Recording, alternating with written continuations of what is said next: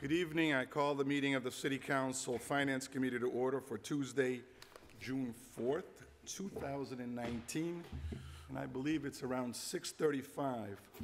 Uh, Councilors, I just want to thank everybody for last night. I think uh, our first, first night went pretty well.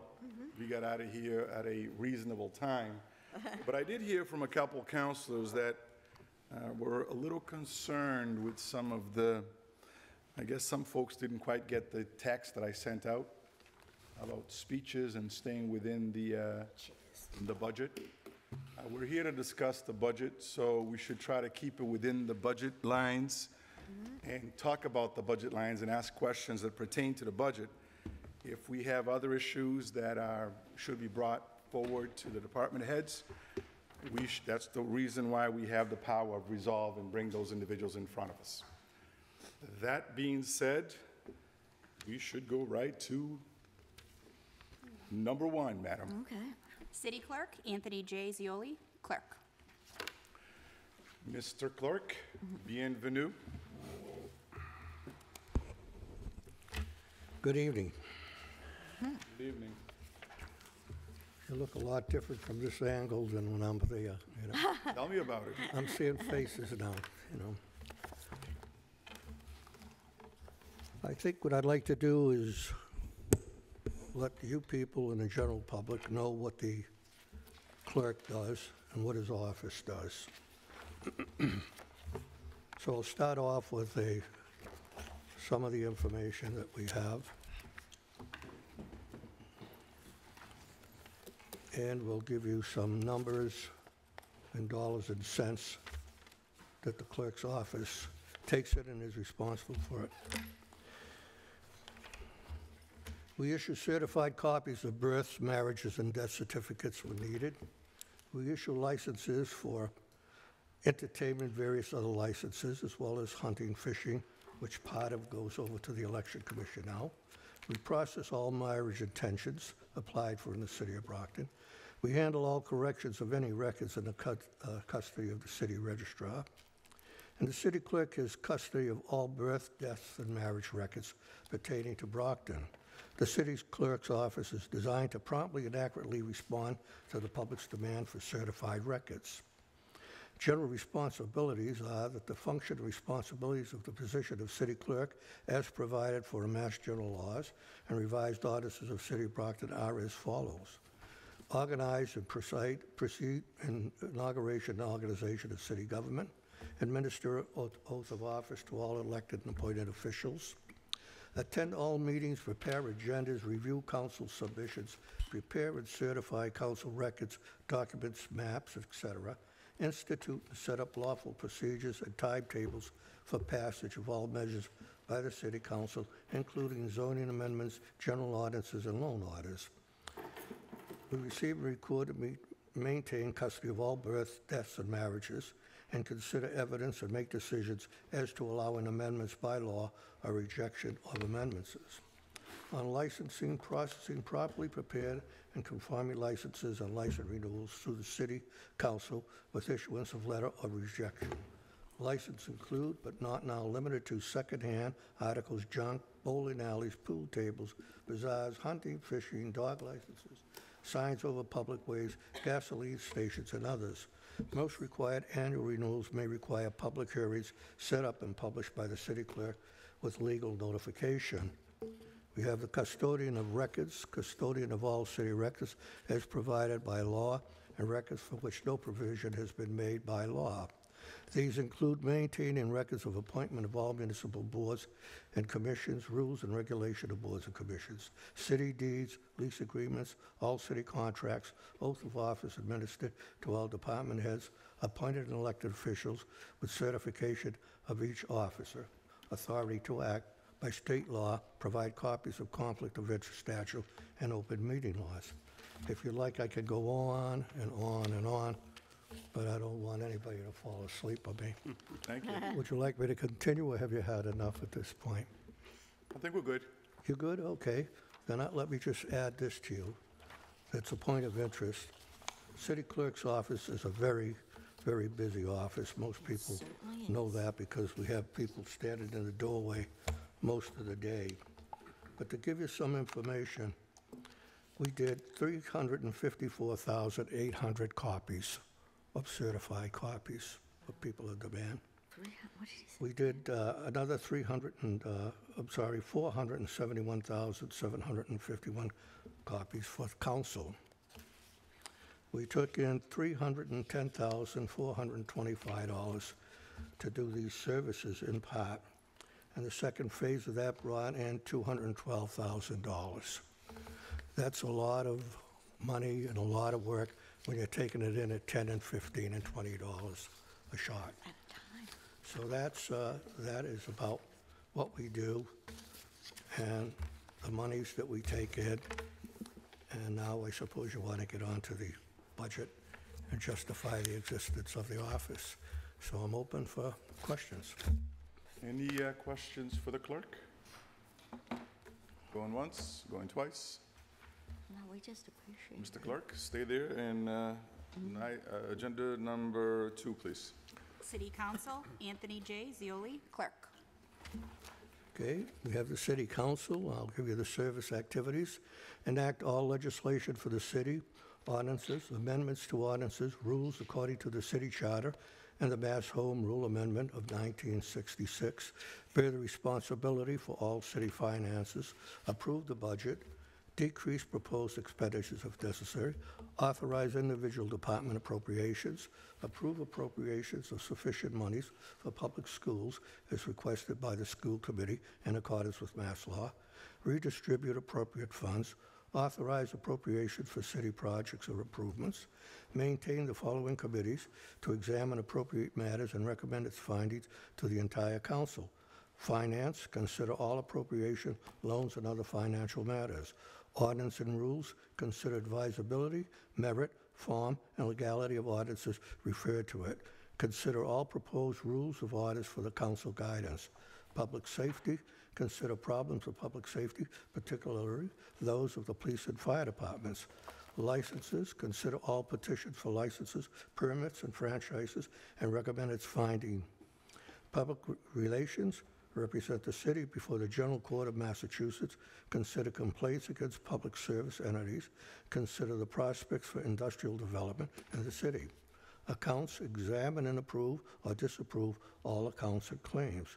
Real estate, consider matters pertaining to the sale of city land or the purpose of land by the city confirm and deny various mayoral appointments to municipal government positions, consider all petitions and similar papers, conduct hearings, adopt rules for its own proceedings when necessary and upon the recommendation of the Committee of Ordinance and Rules, elect by a majority of the council the city clerk to hold office for three, three years, excuse me. Elect a president every year to preside over the council meetings and perform any duties prescribed under uh, Chapter 43 of the general laws. Decide on license applications under the recommend- uh, recommendation of the license committee. Does not include licenses for the sale of liquor or the service of victuals. Effect compliance with any and all applicable sections of the city charter, Chapter 43 of the general laws, and the laws of the Commonwealth. Department mission, the Brockton City Council is a separate branch of city government and is not a line department. Its mission is to service as legislative branch and has the appropriating authority. And that's what I have here for you. Thank you, Mr. Clerk. Uh, Anyone uh, has any questions for the clerk with reference to the clerk, with the city council's budget? Going once? I don't, Go right ahead, sir. I have no question and I have no problem with the budget. I, I do want to share with colleagues, though, this is a half a billion dollar spending plan. And I don't think the public realizes, we, we have no staff. Matter of fact, we don't have an office, we work out of our homes. And hours are spent on this budget. Um, I'm not sure we're going to be able to do justice to our constituents if we don't have some independent budget analyst, some accountant, someone to help us, because this is getting complicated, folks. This is, this is starting to become time-consuming. So I'm, I'm just throwing it out there for whoever the mayor and the council is next January. Uh, I just think we're gonna have to have some help. I mean, it's just getting that much more consuming in terms of analyzing and understanding and projecting and then finally making an intelligent decision on the budget. So half a billion dollars is a lot of money, folks, and, and we're responsible for making sure that it's properly allocated where it should be. And, uh, thank you. Counselor Sullivan. Mr. Chairman, just a point of information, the City of Quincy, Massachusetts City Council does have a CPA. It's an ordinance-driven position specific to assisting them on the budget, something that I've mentioned in the past, and I think that we should, without question, uh, move forward relative to an or- ordinance on that. Because again, as, as Council Farwell just said, not everybody has a CPA or an accountant or an MBA, and, you know, it would be helpful. Be money well spent, in my humble opinion. Thank you. I agree, and as the uh, council, uh, as the clerk said, you know, we do have the ability to write ordinances in the city, and uh, w- we've got no one to blame but ourselves. Uh, Thank you, Mr. Clerk. Thank you. Mr. President, Oh, Something for the clerk? yeah, just a statement. Um, with regard to what uh, Council Farwell and uh, Council Sullivan stated, um, as somebody who's actually living, I think that uh, we as, you know, councilors do need somebody to actually help us out giving the responsibility that we have. Because I think that sometimes uh, we may have the desire to respond to every emails, every phone calls, but you know we do have other responsibility. I think that as somebody who's living in the council, I would truly advise you guys to actually think about how you can approach the situation in regard to bringing at least one person or two people that can actually solely work for the council because it is a lot of work to do, especially for those of us who are council at large. I mean, I believe that I am not a CPA. Um, I probably have no knowledge whatsoever in that field, but I think having the ability to actually understand the complexity of that 450 million dollars as opposed to just read it will be beneficial not only to us but also to the city because this is taxpayers money and i think what used to be done in the city five years ago 10 years ago 15 years ago can be changed and of course it is our job as legislators to actually draft laws that can actually govern the city i know the clerk would be more than happy to actually help us in regard to how to approach this but i would encourage you my colleagues to think about this not just talk it out but think about what are the best ways in which we can actually bring someone to actually help us out. I just want to make that statement. Thank you, Mr. President. Thank you, sir. Uh, If if I just may add to that. Ahead. I think, as you know, I've been researching this and trying to uh, develop a department, so to speak, for the council. Uh, We've made some headway there. Uh, We need room. We need space. All the departments will tell you that. That's what we lack, you know? So to develop a, uh, another portion of an office, but with no place for that staff to, to operate in is, you know, Well, Mr. Clerk, we can just cut everybody's budget until we get a room. Well, that's fine. I mean, with me, I I don't have a problem with that. Thank you, sir. But uh, we are trying to develop, we're looking for space, and uh, it has been mentioned to the mayor. And uh, I think the main point right now is to kind of find the location and then go on with staffing and what have you. But there are things in my budgets for this year, oncoming year, that have taken into consideration what usage they may be of if we do develop this, this office, so that a great amount of funding will not be necessary. Thank you. Thank you for all that you do to help us out. Okay, Thank you. Um, Madam number three, please. Assessor, John O'Donnell, Chairman. What do you mean, us, two? Mr. O'Donnell, Us- I feel like welcome to forever. the city council chambers. Good evening, councils. Uh, The primary function of the assessor's office is to value all property in the community annually at full market value as outlined in Chapter 59 of the Massachusetts General Laws. The assessor's office is responsible for the administration of all laws and regulations regarding property tax assessment. The assessors are required by Massachusetts general law and various acts of legislature to perform the appraisal of approximately 27,620 parcels of property. This includes residential, commercial, industrial, utilities, and personal property. The office processes over 80,000 motor vehicle and boat excise tax bills yearly, commits the amount of taxes to be collected, including betterments, water and sewer, refuge liens to the treasurer collector's office, handles all requests for abatements and exemption applications, review and update city records of all deeds for Brockton, looking for ownership and other changes, subdivision and mergers. We review all and inspect all properties for which a building permit has been issued yearly. Any questions to the assessors relative to his budget? Council Sullivan. Mr. Chairman, thank you. Good evening, Mr. O'Donnell. Good evening. Um, Just two quick questions, John. When I look at the um, department requests for two line items, one's a consultant, which was 67,000. Um, And it was, uh, that was your request, recommended a 164. W- Could you just explain the have- we purpose have of a the reval. consultant? What is it? We have reval in 2021, so I uh, forgot to put the money in initially, because most of the work will be done during 2020. 2020? So that's for the consultant, and the line item right above that's the reval. Same. They're both, they're both for uh, reval. One's for personal property, the other one is for real property. And, and so we don't do that in-house, we, we get a consultant to work in conjunction with your office? Yes, yeah. Fine. Okay. All right, thank you. You're welcome. Thank you. Thank you, Counselor. Thank you, Mr. Anyone Chairman. else? Counselor Nakash. Thank you. Good evening. Good evening. Thank you for being here. Um, I have a question about sewer betterments. I was in a meeting on the third floor last week, and I was told we no longer do sewer, sewer bet, or sewer, sidewalk, or street betterments. And I just very quickly wanted to mention it to you because in the mission statement that you just read, you include that among your, your job, your duties. That's always been our mission statement. Yes. Do we do sewer, street? I don't think so, not in, currently, no, no. Why? We do not? Do you have an idea It's of done in when? the past, Par- That's in the past? yes. Why don't we currently do them? It's, that'd be a question for If there are no objections, uh, we can have the DPW Commissioner come up. Actions? Is this the budget? Go ahead, sir. Good evening, Objections.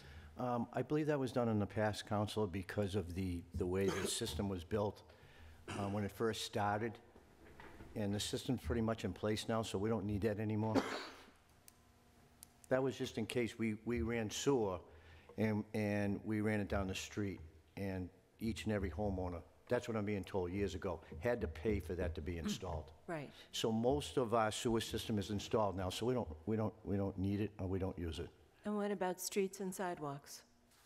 Um, streets and sidewalks is, that's a good question. I, I, it's, we usually, um, use chapter ninety money for that.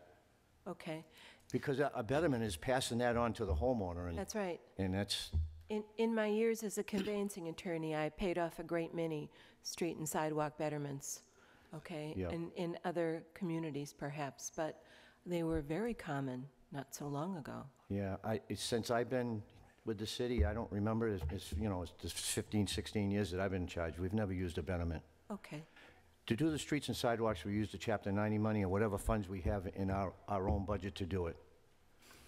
okay, thank you, You're welcome. thank you. Thank you, Mr. O'Donnell. You're welcome. Thank you, Mr. Are Chairman. you, are you good? Yes. Anyone else? Hearing none, you're dismissed, sir. Thank you. Thank you. Madam Clerk, uh, number four, please. Treasurer, Collector, Martin S. Brophy, Treasurer. Mr. Brophy. Good evening, councilors.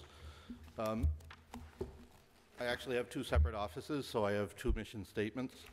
Uh, The Collector's Office is responsible for collecting and accounting for uh, currently close to $200 million in annual tax and user fee revenue. Um, The Collector's Office does not create a bill, it cannot change a bill. Uh, Real estate, personal property, boat excise, all come from the Assessor's Office, and committed to the collector just to collect the bill. Uh, The water sewer trash bills are created by DPW, and again, committed to the collector to collect. The excise tax bills actually come from the Registry of Motor Vehicles, uh, and the assessors get the information and commit it to the collector to collect. Uh, We also produce municipal lien certificates, uh, which is a legal document stating what is owed on a property. And we also perform tax-taking procedures, which is perfecting a lien at the Registry of Deeds for delinquent taxes, uh, which allows the city the right to collect that money. Uh, If that process isn't done within two and a half years of the end of the fiscal year, uh, the city cannot perfect that lien. Uh, For the treasurer's office, um, treasurer's office basically handles all the money of the city, um, including what the collector takes in, it- it- as well as all other departments. Um, We're responsible for accounting for that money, to keep cash books and reconcile that to the- the ledger.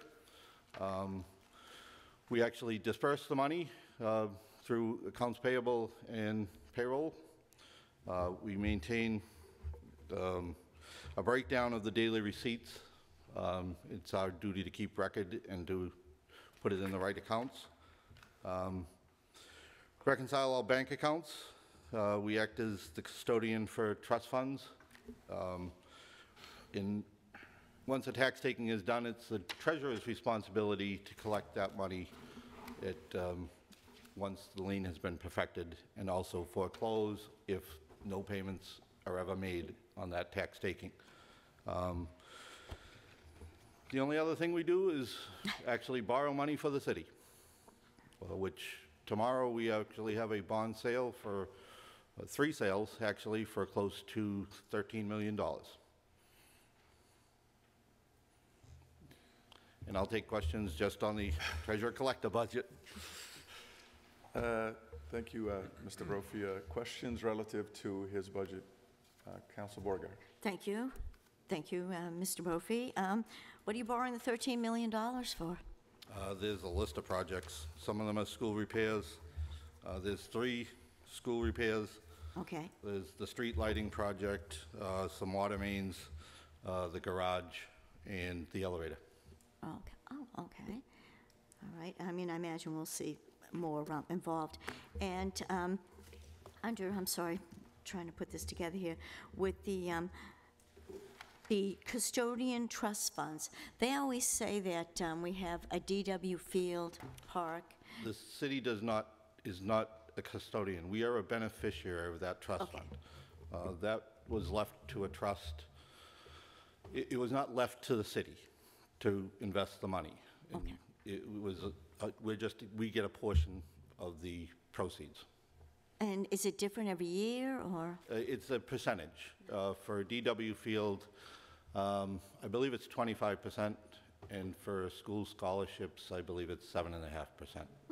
And can you give us an idea how much it is for the DW Field? Uh, Uh, It's probably about 100,000 per year that the city gets. Okay, and that, I imagine, goes to the Parks and Rec to Yeah, take the- care of it? Okay. The all right. specific, as part of the, the DW Field uh, will. Okay. there- In the trust fund, there's specific use for it. Thank you very much. Thank you, Mr. President. Thank you, ma'am. Uh, Madam Counselor Nicastro. Thank you. Good evening, Mr. Brophy. Good evening. I have a question. On page 220, looking at um, treasurer purchase of services, okay?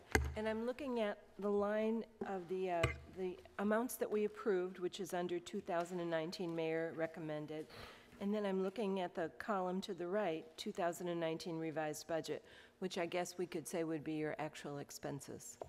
And in every, every one of these line items except two, your expenses exceeded what we appropriated, so much so that $41,529 was spent in, in excess. And yet, when I look at what the budget is for tonight, it's, it's, um, it's far less. It's actually a revised budget. This doesn't show expenditures for Okay. 2019. So Okay. it's a revised budget. So some of it were, was encumbrances of money. Some of it could be that we transferred money between items, line items. Um, But that's just the revised budget. Okay. And even though it's far less than what was spent last year? The 18, Uh, No, no, the 19, we're currently in 19. yes. Um, so 2018 is the only expenditures on the sheet. Well, the 72 is what we approved last year.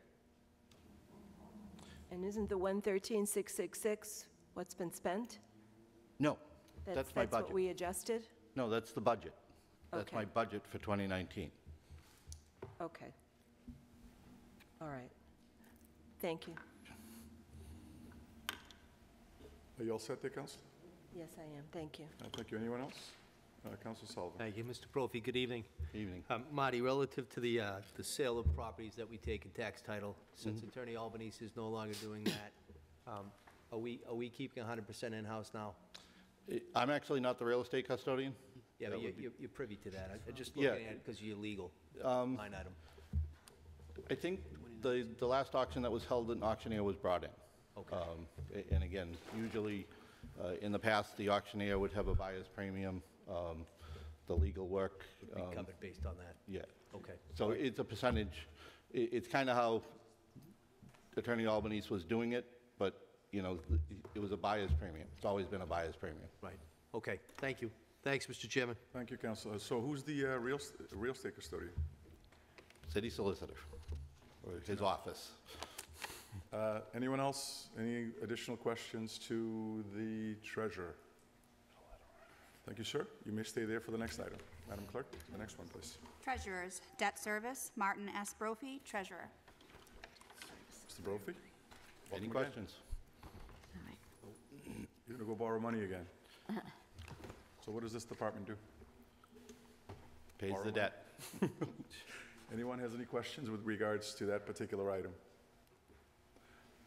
Going once, twice, hearing none, you're dismissed, sir. Thank you.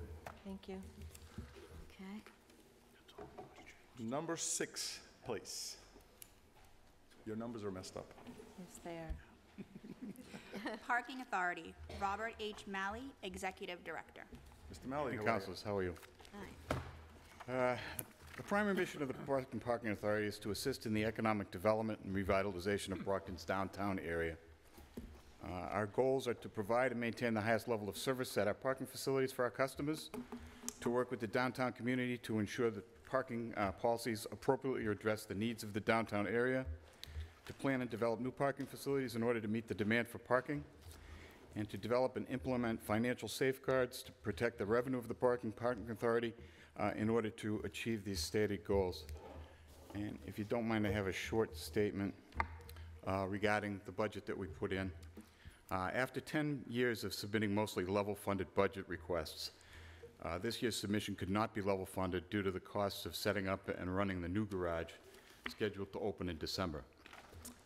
Uh, We have put our best efforts into estimating these costs using the expenses of running the Adams Garage of similar size as a reference and prorating the costs over the period from December until June to arrive at our budget request. We are confident that the revenue from this new garage will exceed the expenses. Uh, In order to clarify which costs are associated with the new garage and which are associated with continuing operations of the parking authority, we have prepared a spreadsheet which you should have in your supplementary budget. Uh, As you know, the uh, Parking Authority budget does not derive uh, from the city's general fund, but instead from our reserve funds, which are more than sufficient to cover our requested budget. Since this may very well be my last opportunity to present the budget to the council, I would like to publicly thank all my employees for their hard work throughout my time at the authority, and also to thank my coworkers in all the city departments, our elected officials, uh, both at the city and state level, uh, for your assistance and cooperation, and especially thank the volunteers who have served on my board during my tenure. Uh, I'll be happy to answer any questions that you have. Thank you, Mr. Malley. Uh, Question, Beauregard, Counselor, please. Thank you, Mr. President. Well, first of all, I just want you to be able to highlight a little bit about, I'm big on the revenue part of this, because everyone's saying, oh, we don't need, well, some people that uh, aren't in downtown say, we don't need the parking garage, and we already, and I just think it's important for people to realize that not only do we need the parking garage, but all the plans and um, revenue that's starting to come in from what we refer to as the smart parking meters. I like that thing called revenue, so we're going to really push that. Right. And you'll be happy to know, Counselor, since you come to all of our meetings, uh, that we did launch the Passport app this All pa- right. since our last meeting, uh, and that people are already uh, using the app to pay for the meters out there, so you can pay by cell phone. So, Thank, Counselor, you done? thank you. Yes, and Counselor Cruise. I don't usually do this, but I do want to just thank you. You've taken a job that uh, can be very dry and be unimaginative, and you've put imagination and, and been a big part. In fact, just looking at the mission statement. That's not the mission statement of the original parking authority. No, it's not. And, and uh, it's really not a mission statement of a parking authority. You've used, you've used your personality, your brains, and your vision to be a big part of what's going on downtown, and I personally want to thank you for it. We, Bob and I were just looking, say, we can't believe it's 10 years. So, Yeah. well, the fact that you're leaving, we're not happy. Thanks for, thanks for your work. Guy was just about to cry, so now you're going to make him cry. Uh, Counselor Asack. Thank you. Uh, Thank you, Mr. Malley. Um, I was a little surprised of of your announcement. I- I'm very saddened, but um, as Council Cruise said, you, we're very proud of uh, the work that you've done and what you've done with the parking authority. My question to you is, um, you have in your mission statement that you uh, rehabilitate parking authority lots through upgrades, surface overlay, seal coating, and restriping. Do you do that in-house, or do we use the same company that uses? It depends on the size of the lot of what it needs. Uh, um, The major projects, right, obviously, we don't have, um, we don't have the machines to, to rip up pavement, right? Um, But as far as sealing, striping, uh, we've been taking that on ourselves rather than, rather than lease that out because we have the people who are capable of doing it. Well, I think that's great. That's, um, I know that's a question that usually comes up, and I've asked in the past if we could do the, um, Yeah, it's a lot cheaper to do it ourselves. well, thank you. Thank you. Uh, Thank you, Counselor. Uh, Counselor Monahan. Yes, and I don't usually do this either, but I echo Council Cruise's sentiments, and uh, Bob is like one of the smartest guys I know, and he really has done a great job for the city for 10 years, and Councilor Farwell and myself maybe pull something out to keep you here a little longer. Well, I'm not we really planning- hate to miss you. We I'm not really- I planning on going anywhere until the garage is finished and running properly, right? Now, it's scheduled to open in December. I told the mayor I would stay until the thing is running properly. Okay, so we we can but I delay do we can delay expect to be out of here before budget time next year. They might have some gla- gas problems over there, so you might be staying longer. Thank you, Don't thank you. Mr. say Thank you, that. sir. Um, Mr. Malley, uh, I I was hoping that somebody would ask you this question, but I guess they didn't get asked, so I'm going to ask it. Okay. Parking enforcement in down, in, I know you do it in the downtown area, but it doesn't get done in Campello or Mm-hmm. Montello. Are there any plans to do that as well? Because I hear that from Currently, businesses all no. the time. Our our guys are on foot, right? I mean, I'm saying, hiring more people, do some more, no plans? no, not at this point. I- I got my hands pretty much full with what I got now. I mean, my successor may, may have plans to do that. I- It wouldn't really be a bad idea. I Mm-hmm. mean, there's, I mean, I hear that from businesses all the There's, time. that there's people are just shopping parking. plazas with fire lanes that could be patrolled all the time. There's, a- there's, there's plenty of opportunity out there. Yeah. Right, but it never has been part of the parking authority, at least since I've been here. And, um, no, I don't have plans to take that on in my final days here. Good, good to hear. Thank you, sir, and thanks for your service to the city. Thank you. Thank you. Madam Clerk, number seven, please. Public Property, James Casieri, Superintendent. Mr. Casieri, how are you? How are- I'm well. How are you, Council? The ele- The elevator maintenance guy. Yes, the elevator's working well. Thank you. Um, Our mission statement is to assist the orderly development of the city in commercial zones and residential zones and try to maintain a certain quality of life through code enforcement for our residents. And the functions of our department are all building, wiring, plumbing permits are issued through this department, and all subsequent inspections take place. And um, we maintain permanent records and plans of all of those certificates. All certificates of occupancies are issued through this department after proper inspections. All certificates of inspections come from this office. That means all places of assembly such as churches, schools, gymnasium, bar rooms, nightclubs, multifamily homes are all inspected by this department. We're responsible for the code enforcement of the zoning ordinances of the city of Brockton, including overseeing the zoning board of appeals. We constantly monitor the vacant and building and abandoned properties, and we uh, administer the abandoned building registry. All inspections, all inspectors, maintenance people, and custodians, and myself are on call 24/7, 365 days a year, and respond to emergency calls at all hours, such as but not limited to fires, car crashes into buildings, mishaps at residential and commercial properties, um, regarding building safety issues, heating calls, AC calls, plumbing and electrical emergencies, as well as other emergencies and board-ups of vacant and abandoned properties. We prepare all buildable lot determinations and all legal use determinations. I supervise a custodial staff. They are responsible for City Hall. They do a great job. War Memorial and the Council on Aging. The Public Property Department is responsible for maintenance of all publicly owned buildings.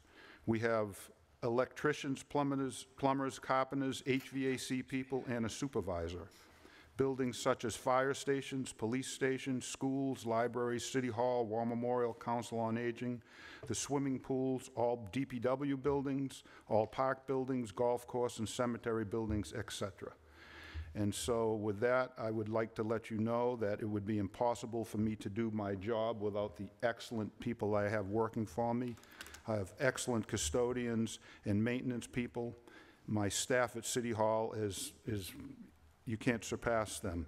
And I have an excellent supervisor of building maintenance and my executive assistant, and without these people, I couldn't do what I do. And with that, I'll take any questions. Questions to Mr. Casieri relative to his, uh, Councilor Cruise? Thank you.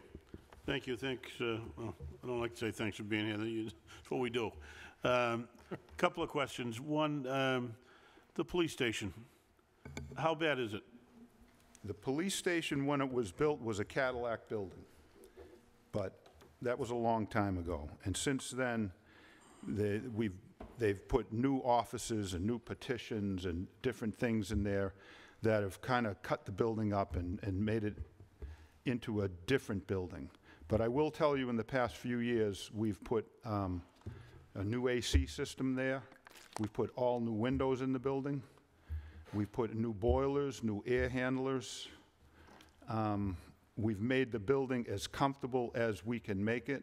However, it is at the point where it has outlived its usefulness. It's, it's been a great building, but it's to the point where uh, we definitely could use a new police station. There's a lot more work to be done there. So it's at the point where it's tough for you guys to, to, to really do any work to, Well, there are some issues we just can't solve. Yeah. Like the, the linking in the entryway down on Commercial Street is under the ground. We would have to excavate the entire front of the building to, to put some kind of patchwork over that tunnel they have going in there, and it's almost an an impossibility. So water's always coming in there. That's, that's just one example of, of what the building's like. I mean, it's outdated. And then uh, the mayor mentioned last night in his uh, presentation about uh, you and uh, some other departments going o- over to the old DA's office, correct? I heard him say that, yes. Well, maybe.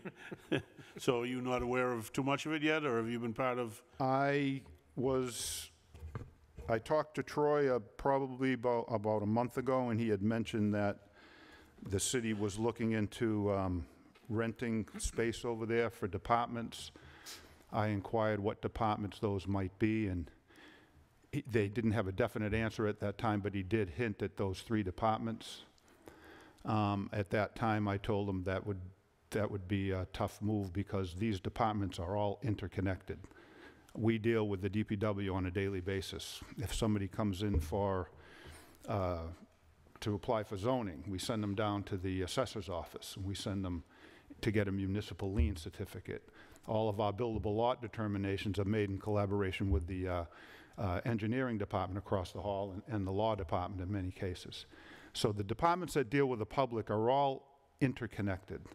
Um, Those are just my thoughts, but so I, uh, at Troy's behest, that I, I went over and took a look at the facility over there, and um, that, if we were, if that were to take place, that building is in need of about $1.2 million worth of renovations before that could happen. Is it budgeted for us to do that work, or for the county to do that work? in I budget? think there's a, there's money in my budget of $120,000, and I suspect that that would be to make those moves happen if the building ever becomes to the point where we would move people into it. Once the county does the work. I would say the county would do the work, it's their building. I mean, that's, this is all off the cuff here. I mean, you're asking me a question, that I haven't had the chance to have many conversations about it. I will tell you that the building, i- the facade of that building is deplorable. Yes. Um, There's no windows in it except for a few on Belmont Street. There's no air handlers, there's no AC units, there, all the in- internal structure of the building would have to be removed, there's moldy carpeting. The, um, the um, superintendent over there told me he thinks the boiler came over on the Mayflower, things like that. I mean, I think you you have some familiarity with that building, I believe. It's much the same as it was. The part, I think that we were under the impression the whole building was renovated by the county, when in fact, when I went over there, I was surprised to find out the only part that was renovated is the part that's being occupied by John Buckley and his crew. The rest of it still remains as it always was.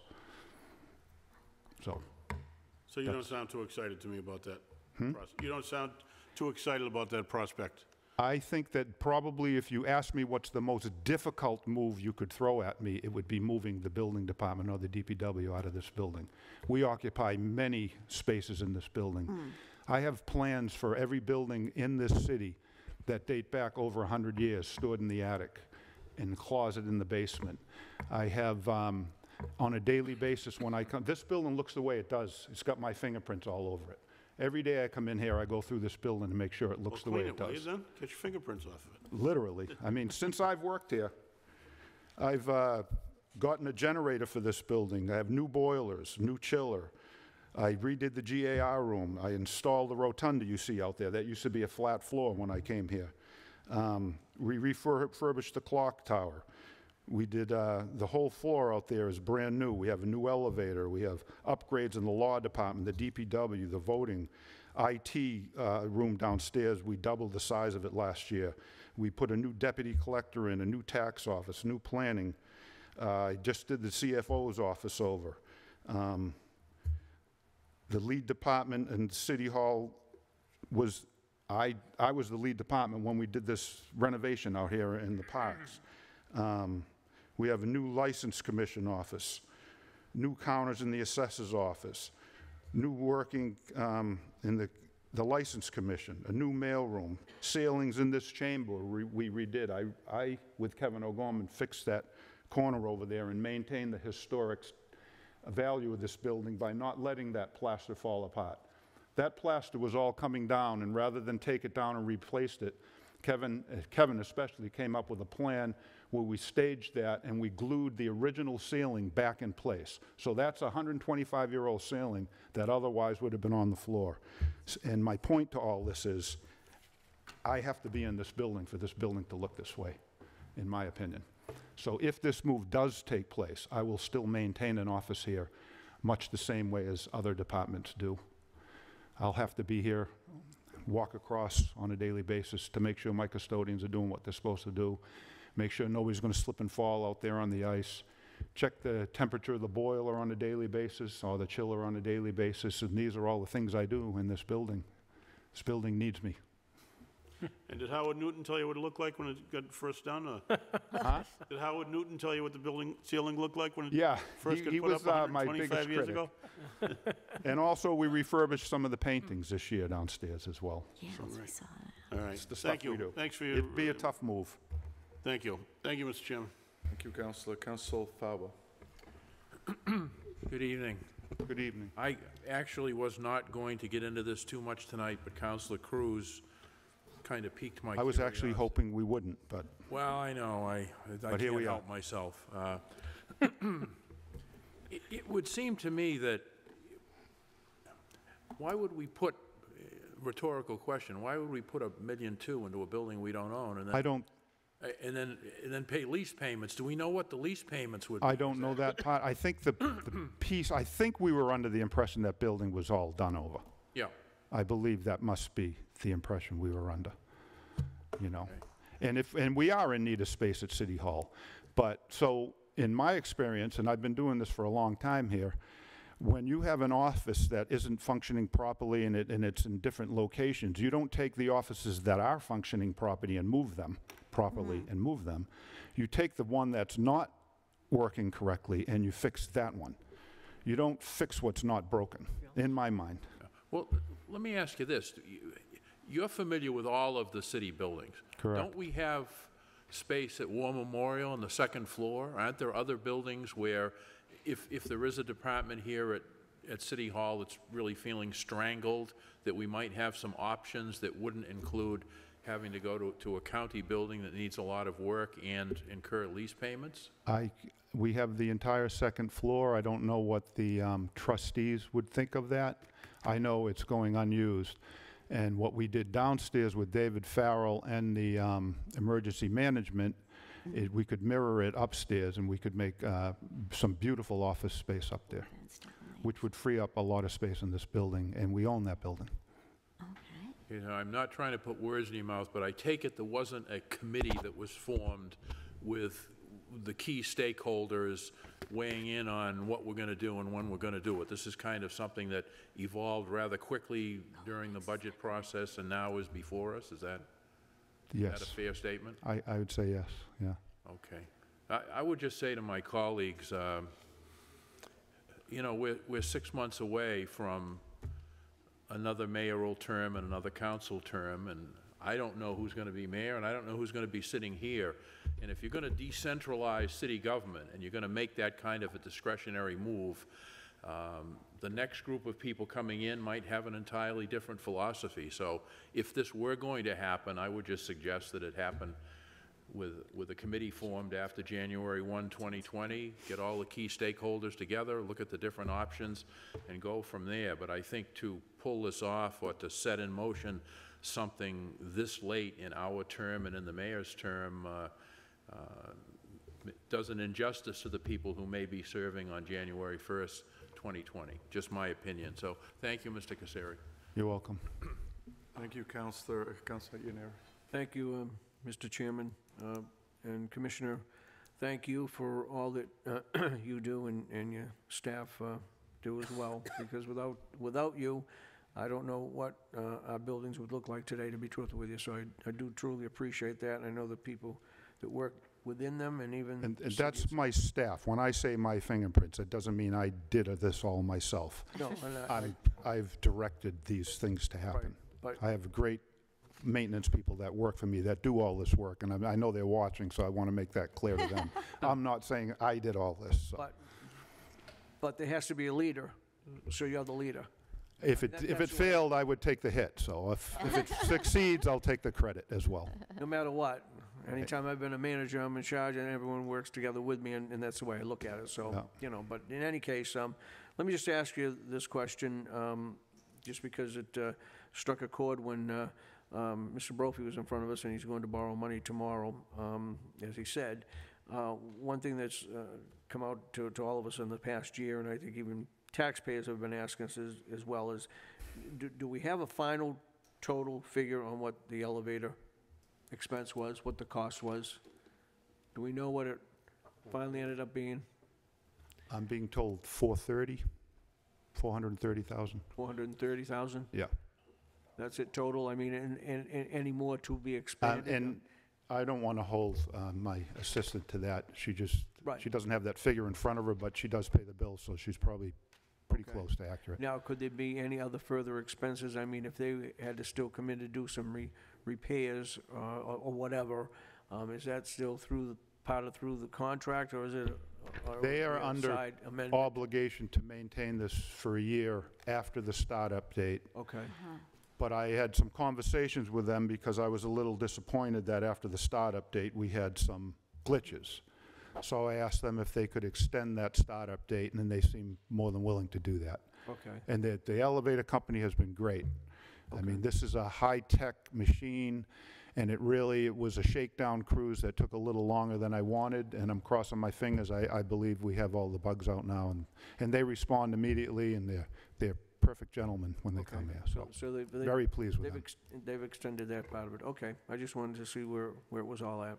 Yep. Appreciate it. Thank you. You're welcome. Good job. Thank you. Thank you, Mr. Chairman. Thank you, Counselor. Counselor Beauregard. Uh, Thank you, Mr. President. Thank you and your team for everything you do. Now, when you, when people say public property, well, you know, you, you mention council on aging, whatever. Now, you mentioned at one time, and, you know, you may correct me if I'm wrong here. I that will. there's almost, thank you, almost 400 properties considered abandoned that are on the records for this city? I think that's high. I think through the course of the years we've been running it, there's been that number of them, but many of them are reoccupied. I think an accurate figure would be closer to 280. Okay, well, that's still an awful lot. It's a Now, lot, and we maintain them all, so it's a, That's, it's... that's a it's real hu- huge demand on. It's a lot of new work that's come the way of this department in the past 10 years. Ch- eh, And that's not counting the rocks and shaws, which I know we're going to talk about later, but a lot of stuff is coming this way. And right now, we're in the middle of opening two swimming pools, and we'll run the two swimming pools till they close. And that takes two of my people away from me every day, seven days a week, from now until those pools close. And I only have eight, so Wow.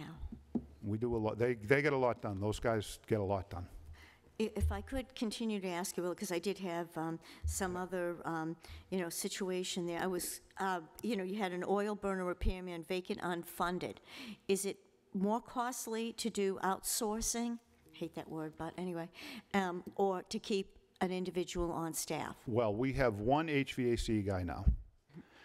And I like to have two of every trade because people go on vacations. Mm-hmm. And if my AC guy's on vacation in 90 degree weather and something goes down, for instance, the library AC, I need an individual I can send over there to take care of it. So that's, I need that person. Okay, no, no, I don't, I don't think it's an extravagance, you understand. Now, getting back to these abandoned properties, could any of them be considered functional? Many of them are really nice properties. Really? Yeah, I'm, sup- I don't, I can't speak for why the banks do what they do and, and linger and hold on to them. I don't understand it, that aspect of it. A lot of, there's a lot of nice properties people could pick up and, and make really nice homes out of, and commercial buildings as well. Okay, so that's what I was curious about, because in some cases, if the, you're saying this is abandoned property, so technically, the city owns it because of the tax liens? No, what we do is we charge them a fee. It's not a fine, it's a fee. Okay, It's all a right. fee that provides us the funds necessary to maintain these buildings. We board them up, we clean them up, we make them safe, and we try to, if, if you live next door to one of these and it's, it's not looking too good, the, the, when we show up, the, the neighbors are very appreciative of what we do, and the DPW is very instrumental in that. Oh, they do the mowing and the cleanup part of it. We do the securing of the building, we, and the health department. We all work really well together on this, so it's a collaborative effort. Oh, no, I know, I've, wi- I've witnessed it. I mean, with the housing, I see, most of the time, these houses, you know, go right back on the market. I mean, I have three and, you know, n- near me, and, um, you know, two have already, you know, ha- stuff is happening, what have you, and the other one is a little bit lagging, but still. But I am curious with the commercial buildings, because in some instances, wouldn't it be better to, to negotiate something?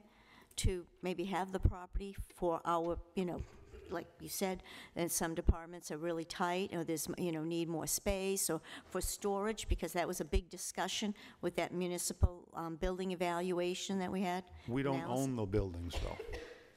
No, I realize we don't own it, but it's so the, how would I say it? It just seems like you're, so in other words, you're a total, a service for these banks, basically, to clean and A maintain lot of, some of the banks are responsive, but when, we don't wait.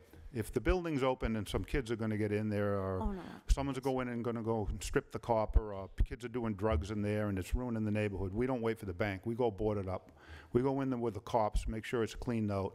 We call the DPW up, they come clean it up, they do a great job.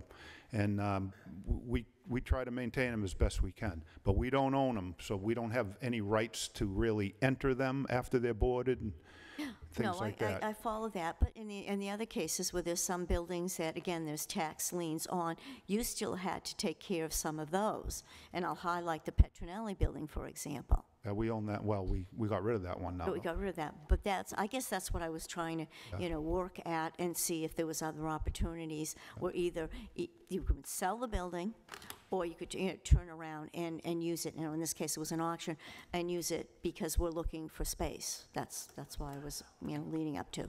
But thank you. Thank You're you for your welcome. patience on that. Appreciate it. Thank you, uh, Council Court, followed by Sullivan, Asack, and Nakash. Thank you, Mr. President. Uh, Good to see you, uh, Mr. Casieri. Um, Good questions. Well, I think I'm going to ask you a lot of questions. The first one is that uh, I wasn't going to talk about this tonight, but I think we started it. Before this budget coming out, were you aware of, or were you somewhat approached about you possibly moving out? Um, It was mentioned, I mean, I- Talking I- about I've never had any, we- Troy and I have had some short discussions about it, Sort of. but um, I I haven't had that much involvement in it. Excellent. So, uh, well, I personally talk to you a lot about some issues that we have, and sometimes, not sometimes, all the times, your staff um, have been amazing to whatever that are asking for. With eight people, I think that your office uh, has been doing an amazing job, and I commend you on that one. Uh, personally, I know that your office, uh, in my opinion, I think is one of the most important office in the city of Brockton, giving the responsibility that you have, and also giving the fact that you have to be on the hour 24/7. I was called in at 3 o'clock last night, 3 in the morning, car So- hit a building on Main Street. The reason I'm saying this is the fact that I want folks to understand the responsibility that you have as opposed to different departments. So I strongly believe that if there were one department that should have moved out, your department would have been the last. And if there is one department that I do not want to see out of this city hall, would be your department, and I mean that. So as you know, the gentleman was making his public statement in regard to his budget last night, I was somewhat shocked in regard to possibly you moving out. I personally is against it. I can tell you that flat. And although I was trying my best not to talk about it tonight because I know there'll be opportunity. I was actually hoping we wouldn't. It's very uncomfortable. Well, well, let's face it though. But I want folks to understand that, like you know, your job as somebody who's on the clock, 24 hours. So it is a disgrace to me that you are part of that group that could possibly move out. Nobody knows what's going to happen. But another question: Does the War Memorial have enough space? Let's say that they would like to go in there. Again, the trustees are in charge of that, and the mayor would have to have conversations with them, but I could fit some nice, I could make some nice office space over there. I won't mention any offices I have in mind, but I know um, that would be up to the mayor, but I think we could, if we could occupy the space on the second floor, we would have more than enough space in this building for everybody. I mean, and I, was, I mean, I, I, I think that the DEA move out not only because of we did not have enough space, but also because of the dangerous of that building. And I believe when I spoke with the D about it, they said we have to move out because the building is not safe. And based on what you just uh, stated now, you claim that the only space that was somewhat renovated was where John Buckley is, and Correct. the rest of the building is unsafe. Well, let's face it, we have some common sense. And I, I did see $120,000 within your budget. I'm assuming this was for that. But although, um, you know, the Plymouth County would have to spend that money, I believe in what you said, it's like one point something million dollars to renovate this building. The question is, how long do you think it's gonna last, it's gonna take them to fix it? Well, first of all, I'll tell you how I came up with that figure. Okay. Um, When I spoke with John, he, he told me that it- he was occupying approximately one-third of the building. And so I asked him what it cost for him to do that renovation, and his figure was 600,000. So I just merely doubled that at, at just a, at just a guess. I will say there are no windows in the side and back, and I wouldn't allow anybody to occupy. In fact, it's against the building code. You have to have natural lighting and natural ventilation. I wouldn't allow anybody to occupy that building until windows were put in and proper egresses and things like that. So it might be more expensive than what Mr. Buckley went through. I'm not sure what they had to do there. But it's up, it's up like that. Call it 1.2. So with that $120,000 that I'm seeing in your budget, this is just a joke, given the amount of money that you I assume. think that the, that I believe this, and I'm No, we're just assuming I'm that. just speaking, I'm assuming Yes, that we were under the impression that building was ready to move into. okay. Mm-hmm. And that 120,000 would have been, made those moves possible, because I would have had to move two departments out of this building and the health department out, and then I would have had to move departments into the spaces that we vacated, so I believe, and I'm, is that, I imagine that's what the 120 was for. So uh, moving out for you would be to take to take away everything that you have in this building. And also, you stated that you do have stuff in the basement and stuff all over the city hall. So you would have to, I mean, in order for you to do your job effectively, I would assume, you would have to move. Council, Council, we- we gotta get, stay on, stay on track. We're- We're talking about something that's not gonna happen. is what Uh, let me finish my question. So with regard to what you let said finish your that. question, but we're um, talking about something that isn't gonna happen. Well, right we're now. talking about the building property moving out from City Hall. And I think if we have to talk about not only allocating money, I would assume that this is one of the subject that does deserve talking on it because according to uh, the gentleman that we have within us as we speak, and based on what I know, not what anybody is telling me, what I know that you are doing, I think your building, and I already stated it, I could be somewhat repetitive, is one of the most effective, important building that we have in the city. I strongly believe this is a subject that should be talked about. I strongly believe they should give you an opportunity not only to express yourself, but it's my job as an elected official and somebody that represent the entire city to make my point across. And I think that as one of the four councilors at large, I do have a solemn obligation not just to sit behind this desk looking good, but also to let the taxpayer know what's going on here. So I would like to thank you for everything that you have been doing for the city of Brockton. And one thing that I can promise you is that if this does come to life, I'm against it. And I'm against it all the way because I'm sick and tired of people just wanting to do stuff just for the sake of what they want. This is the city of Brockton. This city should represent everyone, and your building is something that is doing an excellent job for all of us.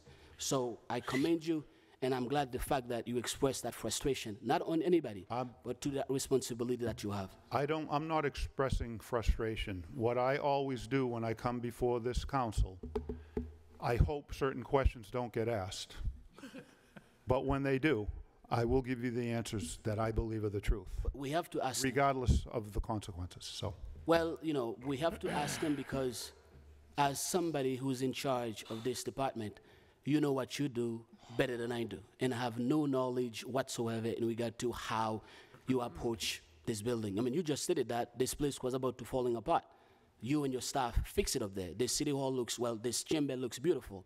I would assume that if we didn't have someone like you with your knowledge and also your staff, we probably wouldn't have this beautiful chamber. So it's important for people to understand it's not just talking about allocating money, but also understand the responsibility of your department. And I believe that's why the council president did ask every single head department to come up with a mission statement in regard to what your department does. And I think you did an excellent job in terms of explaining your point and based on your responsibility. With that, Mr. Mr. President, thank you.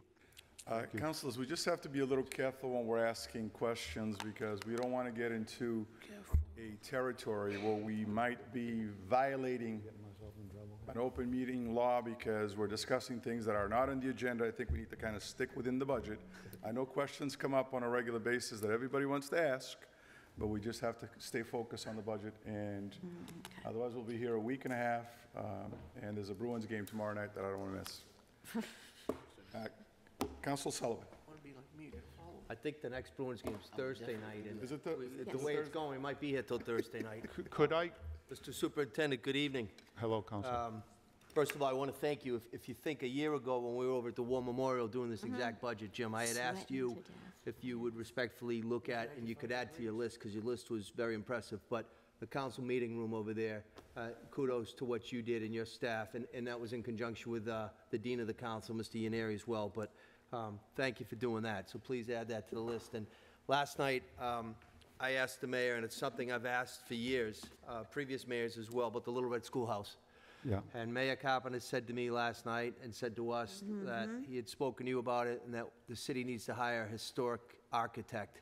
And I'm just trying to figure out, first of all, if that's accurate and what a cost figure would be, because the way it is right now, it's, looks deplorable. I agree. And I will say, I, I love that building too. I think, you know, it's very important. I, I, I just want to stress, and I know that you all know this, my number one concern obviously is always occupied buildings first. Mm-hmm. Yep. That building is in need of the entire outside of the building restoration. It needs the roof repaired, it needs soffits, it needs fascia boards, it needs new clapboards, new windows with the proper historic mullions, and, and it, What you do is you hire an historic architect, and he researches the building and what it looked like when it was originally built. And he will detail in his plans the reveal on the clapboards, the type of mullions, the type of, of soffits and things like that, because you got to be careful not to do things that would actually remove it from the historic register, because now it's not historical anymore. So it's very important to, I went through it on the clock tower here. When I redid the clock tower a few years ago, um, this is a historic building. They would not let me put the windows in I wanted to put in. They made me put wooden windows in. So now when I have to paint those windows, I have to get a, a crane to get a painter up there. That's how particular they are, even the ones that you can't see way up in the clock tower. But Jim, do we have, because I dealt with this in another town, you know, you have the Mass Historic Commission in, in, mm-hmm. in the archives building you have to go into and deal with them, but, and they, it's very rigid, I get it. But do we have a historic architect that we can at least inquire about? Because my only fear is this, and I think Mr. Farwell said, I mean, we're six months away, things happen, people change. And because it's at the entrance, the Forest Ave entrance, it's the first thing you see, mm-hmm. and it looks like hell. And, and again, I understand from a, you know, dollar standpoint, it's occupied versus non-occupied, but, I mean, it's a gem, and if we let it fall apart, it is, it is gonna fall apart. So, is there some, someone that Yes, you can recommend that we can look, yeah. I- I'm going to call the guy that helped me out with the clock tower That'd be and awesome. and get a recommendation. thank you, Mr. Commissioner, thank you, thank you, Mr. Ca- Chairman. Can I say one thing, Counsel? Absolutely, go ahead. Um, Troy is here. If, if, if you feel that you want an explanation on that 120, I think Troy might be able to give you a better explanation than I did. No, I think we're fine. Thank you. Uh, Counselor Asack? Thank you. Good evening, Commissioner. Hello, Counselor. Hi. Um, Question on the budget. I see that you have pool maintenance, it's mainly for the Manning pool, 30,000.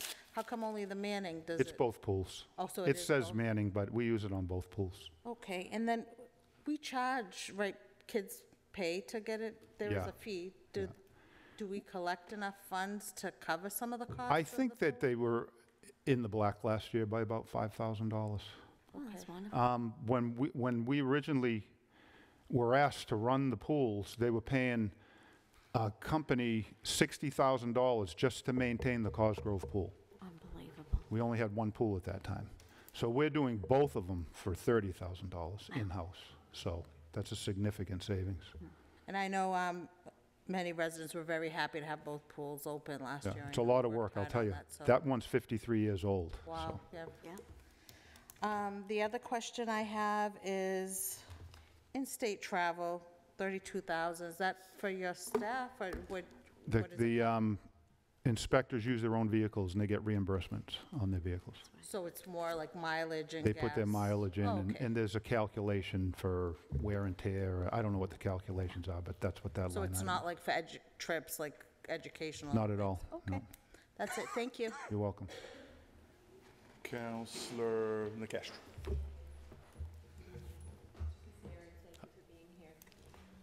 All of your department's been terrific to me and to Ward 4 by extension, and I'm very grateful. Sure, Mike, go on.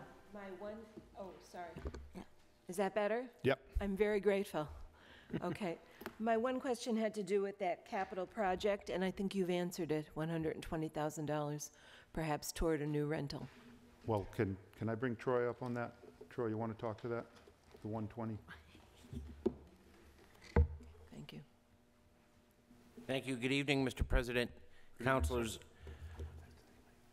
I think a robust discussion is always good. I'm just happy to offer some clarification uh, as to the objective of that money. Uh, My understanding certainly is that no conclusions uh, have been reached.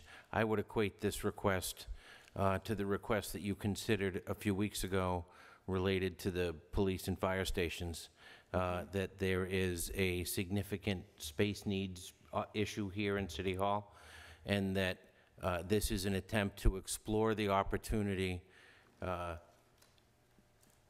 to obtain additional space, to do some studies here in the city uh, and take a look at what offices might be moved around, and certainly to take a look at a potential collaborative effort with the county to occupy some of the space at 32 Belmont Street. Um, But I'm speaking from my involvement to date with the project, that certainly no determinations uh, final determinations have been made, and that the, the money that's being requested uh, is to just take some incremental steps towards solving the space needs problem in City Hall. So to- I just want to dispel uh, any notion that any final conclusions have been reached. I, in my very brief tenure here, uh, I think, share the assessment of Jim Casieri and the amazing job that he does to maintain this beautiful historic building.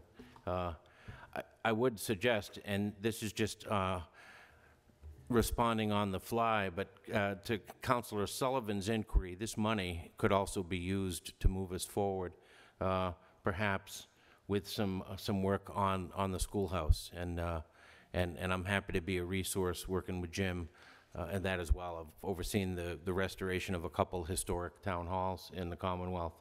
And uh, so I think we have an opportunity maybe to pursue both uh, projects at, at the same time with this requested funding. Thank you. Thank you.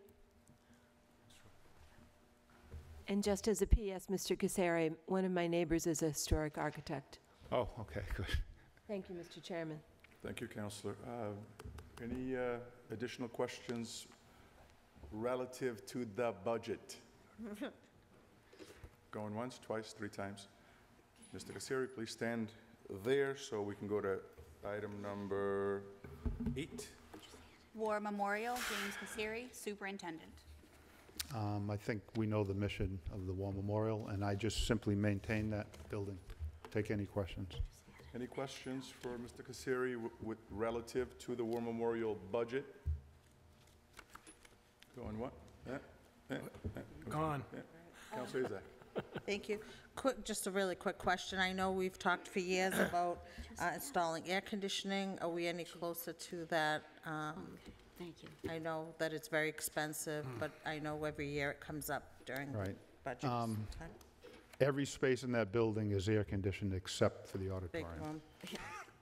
I haven't, I haven't done anything with that. I mean, we're, the budget's so tight, and there's so many other things we're looking at, I didn't think it was the prudent idea to ask for a couple hundred thousand dollars to AC a building we occasionally use, so. Okay. So we're not renting it out more often? I, I know a few, um, a few organizations have rented it for functions. We're not, how's that going? Um, I think eventually, well, we're gonna talk about it, the Shaw's Center, Okay, that Yeah, I would don't be wanna the more jump likely place. correct, okay. That would be the more likely venue, if we can get that to where it's supposed to be, than using a historic building that has cherry wood paneling that's 100 years old and hand-carved, and having people run around in that building. I'd much rather put them over at the Shaw Center. But No, that's that's just my thought. I don't run that, so, Okay, thank you. yeah. Thank you, ma'am. Thank Uh, Mr. Casieri, thank you for keeping that beautiful Yes. building. Council Beauregard. Uh, Thank you, sir. Uh, I just, a quick on this, you know, you highlight the whole thing with the mahogany and whatever. There's sometimes you go into other communities and they have a historical building that's part of their community. Is there, do you ever work on, or know of any, you know, work on collaboratives of that nature where they would maintain protecting, you know, its, how would I say, it is historic value and preserve the building at the same time while you're using it? Well, that's what we do, Counselor. I know, but, but you just said that, I mean, you know, for example, we asked about the air conditioning, and I agree with you. If you put, you know, you don't have the, the funding right now, but at the same time, if, uh, you know, if you don't want to use it for that, but are there any, how would I say it? You know, I mean, I'm going to cite the one in Plymouth, okay, where they have con, they have auditorium seating, and it's always like that, and they have concerts, I mean, you know, uh, presentations, speakers, or what have you. And they maintain its, its, its preservation. But I thought, well, I mean, we're supposed to have a historical commission in this city, and I don't know where that's going now. But it would seem that they're, you know, that's what I was looking at it primarily for, Yeah. as opposed to parties, That's like the said. use I envision there. Not so much as having parties and weddings, but having, you know, an orchestra playing in there, but with the auditorium with AC, having, using the stage and the theater, that, that's more what I envision, rather than having the type of events that you would have at the Shaw's Center. We'd be able to have different events there. And it- really, all it takes is, is money, some procurement, and we can put some AC in there. you know? All right, thank you very much. Yeah. Appreciate it. Thank you. Thank you, sir. Um, Madam Clerk, Stadium, James Stadium. Casieri, Superintendent. the fun one. Questions? Microphone is yours, sir. Um, I will say that since we've taken over the stadium, we've done quite a bit of work there. Um, We've done roof repairs. I think we may have the roof repaired. We've put in a hot water system for the Shaw's Center. We fixed the backup generator that hadn't run for five years, which is necessary if you're going to use that place by code. You have to have a backup generator. Uh, We still have a rodent infestation we're having a problem with. Uh, We jetted all the downspouts in the building, so now that the, the the uh, gutter system's working better.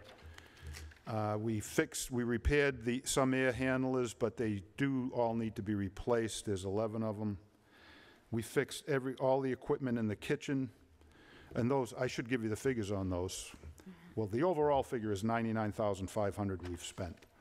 We replaced ceiling tiles, and we changed all the locks. We replaced the three-bay sink in the kitchen, and- and all of those are itemized, but the bottom line is we've spent $99,500 there. And we also have um, gotten Ameresco back under contract, and Ameresco is the company that we use to do all that work I mentioned over at the police station. They've done a lot of work in a lot of our buildings, and it's based on energy savings, so we don't have to come up with, with the money, and the energy savings pays for it. So they're on board, and they have, are in the process right now of assessing that building, and I'm going to have them look a little bit more at a few of our other buildings while we have them un- under contract, and hopefully, a lot of the work that we have to get done there can be done by them. And that's where we're at right now. But um, we were handed a, uh, a real mess over there. Uh, My east side wants to come out and use the vernacular that's not allowed to be used here. But the place is an absolute dung heap, and I'm really pissed off about it, that, that this got thrust on us the way it did. They've occupied that building and done absolutely nothing. It's, it's, it angers me what I have to deal with over there. It's a lot that got thrown at us.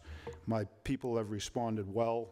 I got a call from the guy at the Rock Center a couple days ago. He said, hey, the, Eddie Williams isn't going to let us open if you don't come fix the fire alarms and put the ceiling tiles back in. I said, well, it looks like you're not open unless you get your butt off the chair you're sitting in and put your own ceiling tiles back in, because you guys are the guys that made the mess there, so fix it up. And consequently, they took care of some things there. But it, it's, they don't even, the bathrooms aren't even clean there. It's, it's crazy. And I'm, I'm beside myself with it, really angry about it. It was a beautiful facility when Jack Yunits built it. We all enjoyed it. We all loved it. And for what's gone on there in the past few years under the management of uh, an individual is um, beyond belief. If, if you had handed me that building 10 years ago, we'd all be proud of it right now. It's unfortunate, but that's where we're at.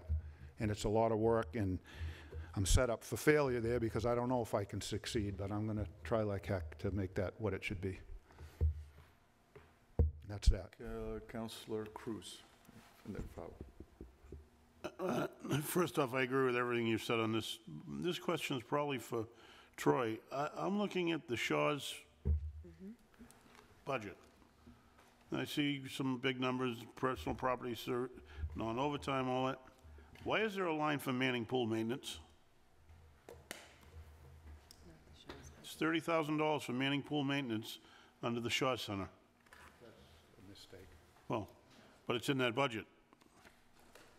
I think it's, Unless I'm reading something wrong, but I'm reading, that's a continuation of the. N- No, Counselor, th- th- they are in proximity to one another, but they are within the public properties budget. So w- what, we thought it was important to create separate lines for the stadium uh, personnel costs and purchase of services so that we could track exactly uh, what those maintenance costs were ongoing. But the, uh, the pool You have a maintenance, section for Shaw's Center, but you don't have it, It's not a whole section. that, that's correct, Counselor. So it, the, right now, we have created separate lines for the Shaw Center, but there is not, as, as with the War Memorial, there's not a separate budget, but there is uh, a separate section within the budget, which is separate from the pool maintenance, if you look. So there's a line for the pool maintenance, then uh, the next line says public property stadium overtime, the next line is public property stadium purchase of services. well, and I, I know we're, when we do our, our calculations and when we make our cuts, we work off of the tabs that we have, the sections that we have. If we have a section for stadium, I assume we have a budget for stadium. So that, that was actually requested, uh, th- that, that be separated so that you had the opportunity to consider this separately, really, I think more of, out of transparency than anything else, so that we had the ability to discuss separately this proposed appropriation and how much money we were But when we dedicating. appropriate this money, we appropriate by the line item. So I want to make sure that when we appropriate, say, public property, personal, si- th- this is not for the stadium. So the only two line items for the stadium are uh, stadium overtime at $20,000 and stadium purchase of services at 125,000. That's correct, That's the Counselor. only two line items that go, so th- we're only going to spend $145,000 up there. Well, n- no, for sure. Uh, That's what this you- budget tells me. you- we- Well, but you just heard, I think, from, from Jim, that there's a significant amount of work. I understand that. What I'm talking about is we vote on a budget. Right. And that line, there are two line items that I see. This is my concern. We, I, in, when you talk about transparency, we have, obviously, out of that public property, personal services, non-overtime, a lot of that is gonna be labor of, of Jim's men up there. But if we're putting two line items in, we're approving those two line items for up there, and that's all. Correct, because uh, when we determine what the capital needs are for the stadium, uh, as with any capital project, we would come back before you uh, with a request for some sort of supplemental appropriation or a loan order, uh, once we understand the scope and the totality of the proposed expense there. So from a budgetary standpoint, uh, this is the request. We frankly, uh, and I've toured the facility with Jim, this is an estimate. Uh, It, because it's a similar amount that was in the mayor's budget for Brockton 21st Century Corporation, until we really understand uh, the the the depth and the scope of the repairs that are required, we won't fully know. Uh, What we do know is that that at least this amount will need to be dedicated to keep the building maintained, to pay the utilities, to clean it, and those sorts of things. But we do anticipate, most assuredly, uh, a fairly significant capital request coming your way sometime when we have the ability to make that assessment, and Ameresco has done their work. So I guess then my question, and this is be for you, Jim, under the stadium purchase of services, 125,000, what is that in particular? That's so I can continue to repair things as they come up. You know, there's still a lot more work to be done there. There's holes in the sheet rock, the ceiling tile, I mean, a lot of the stuff Ameresco won't be covering. They can only cover things that are energy-related, energy saving. Energy savings, correct, I There are that. issues, other issues there. I mean, just simply cleaning out the junkyard under the stadium is gonna cost some money. I don't know if you're aware of that mess there. Yeah. That's behind the scoreboard. I'd like to get the place cleaned up and Yeah, start looks moving awful from forward. So out that there. gives me money to spend on other things, as well as keeping the AC running until we can get it replaced, and keeping the hot water running until we can get it replaced, keeping the sprinkler system in service until things can be totally updated. So that's to just keep the building in repair. And hopefully that will be enough. If it's not, we'll be back.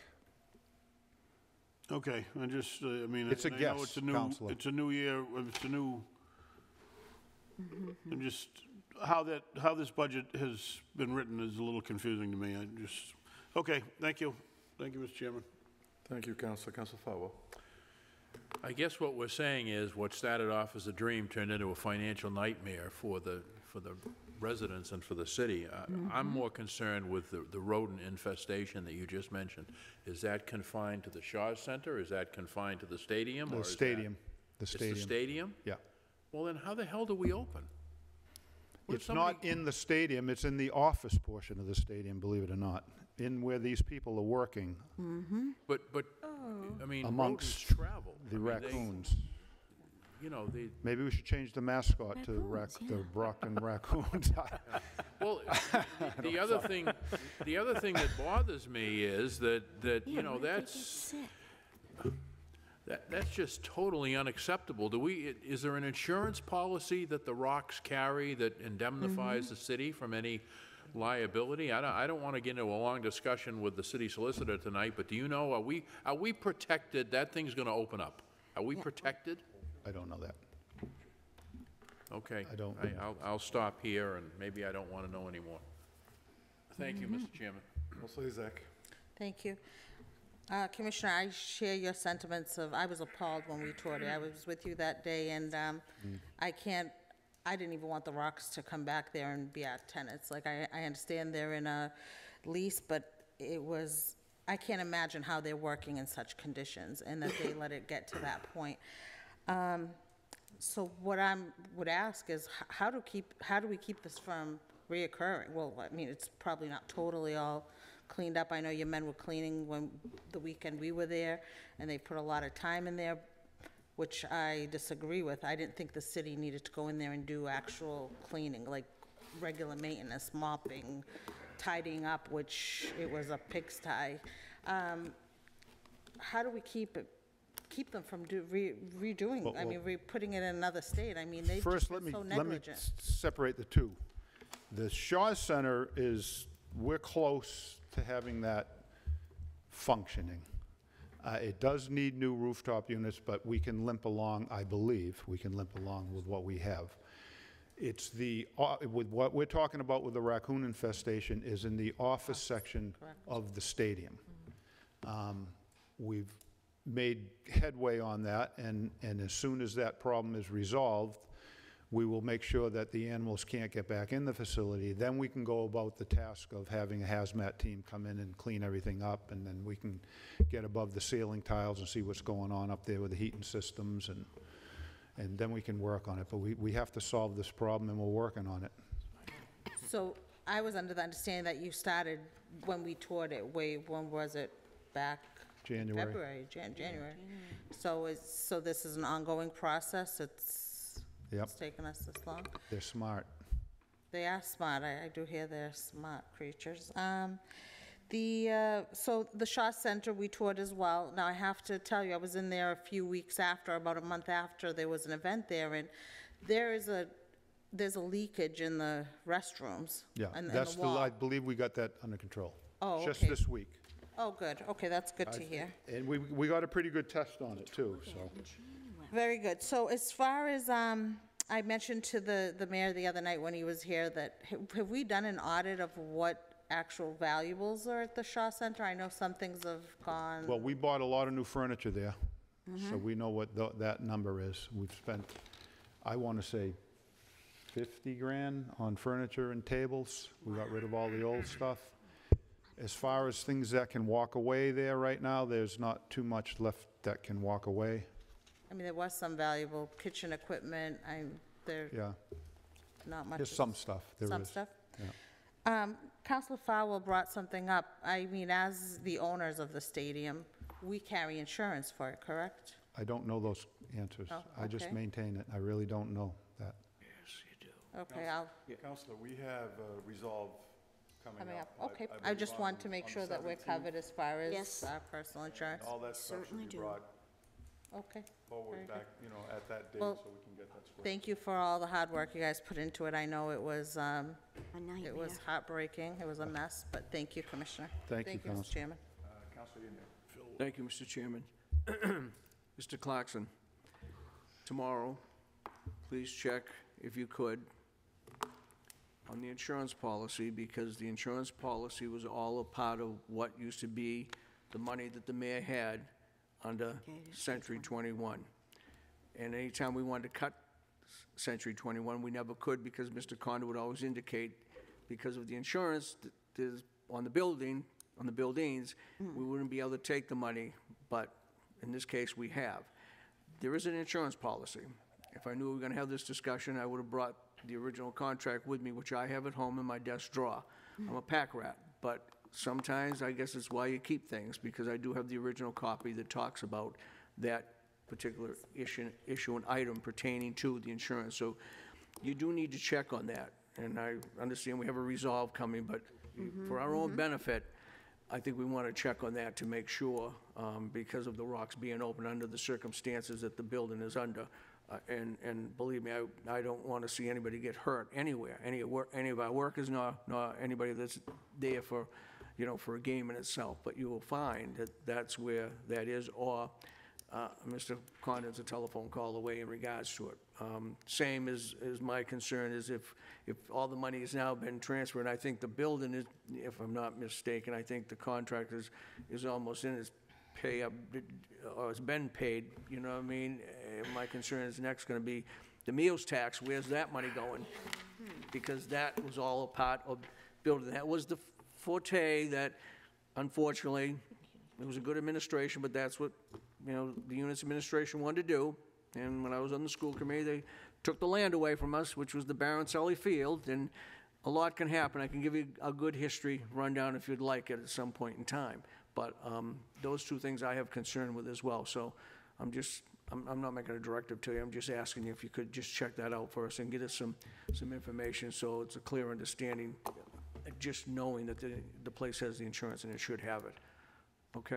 I appreciate Understood. it. We're still peeling back the onion in many ways know. on this property. I and- know. And I uh, know. it- I, I- I'm quite certain that there- the property is insured, but, but I don't have a covered selections page before me, so we'll make sure that we share with you I mean, I- all I- I the would- relevant information. not to, not to interrupt you, but I, I would think that it would still be, and I don't think that the mayor would have just, because all we did was take the money out of B twenty-one, which is fine, because the taxpayer's probably at at peace now that, you know, B twenty-one doesn't have a twenty-one century code, whatever you want to call it, I don't know. Council Farwell, what did you name it when you started twenty years ago? I forget.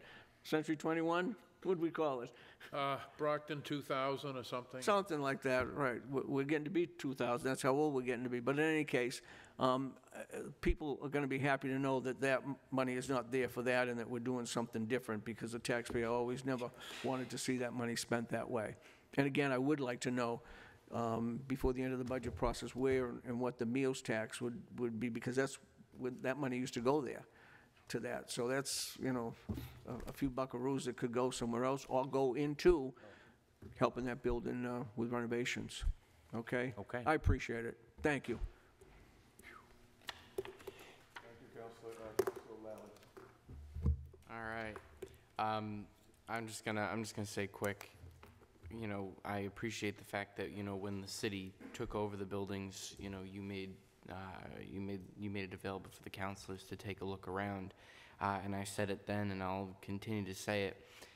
The work that the Rox Stadium and the Shaw's Center has presented to your department would, you know, that, that would be a significant undertaking if it was the only thing that you had to do. But it is in addition to the work that you're already pushed to do. Um, so it is, you know, I just wanted to say for, for everyone here and the folks at home, uh, it is a significant undertaking, you know, and it really is, it really is something that we've made, you know, the progress we have. And I just wanted to say thank you for, you know, the work that has to go into it. Thank you, Counselor. Anything else for the commission? Going once, twice, three times? Thank you. Good night. Thank you. Um, Madam Clerk, item 10. Law, Phil Nessralla Jr., City Solicitor.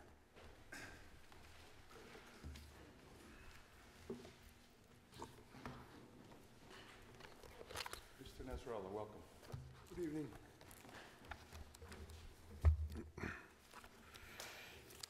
Well, if I may, uh, to commence with my uh, mission statement of the Law Department. Uh, The mission of the Law Department is to provide effective, efficient, and professional legal services to all departments in the city of Brockton, the mayor and personnel regarding their official capacity within city government.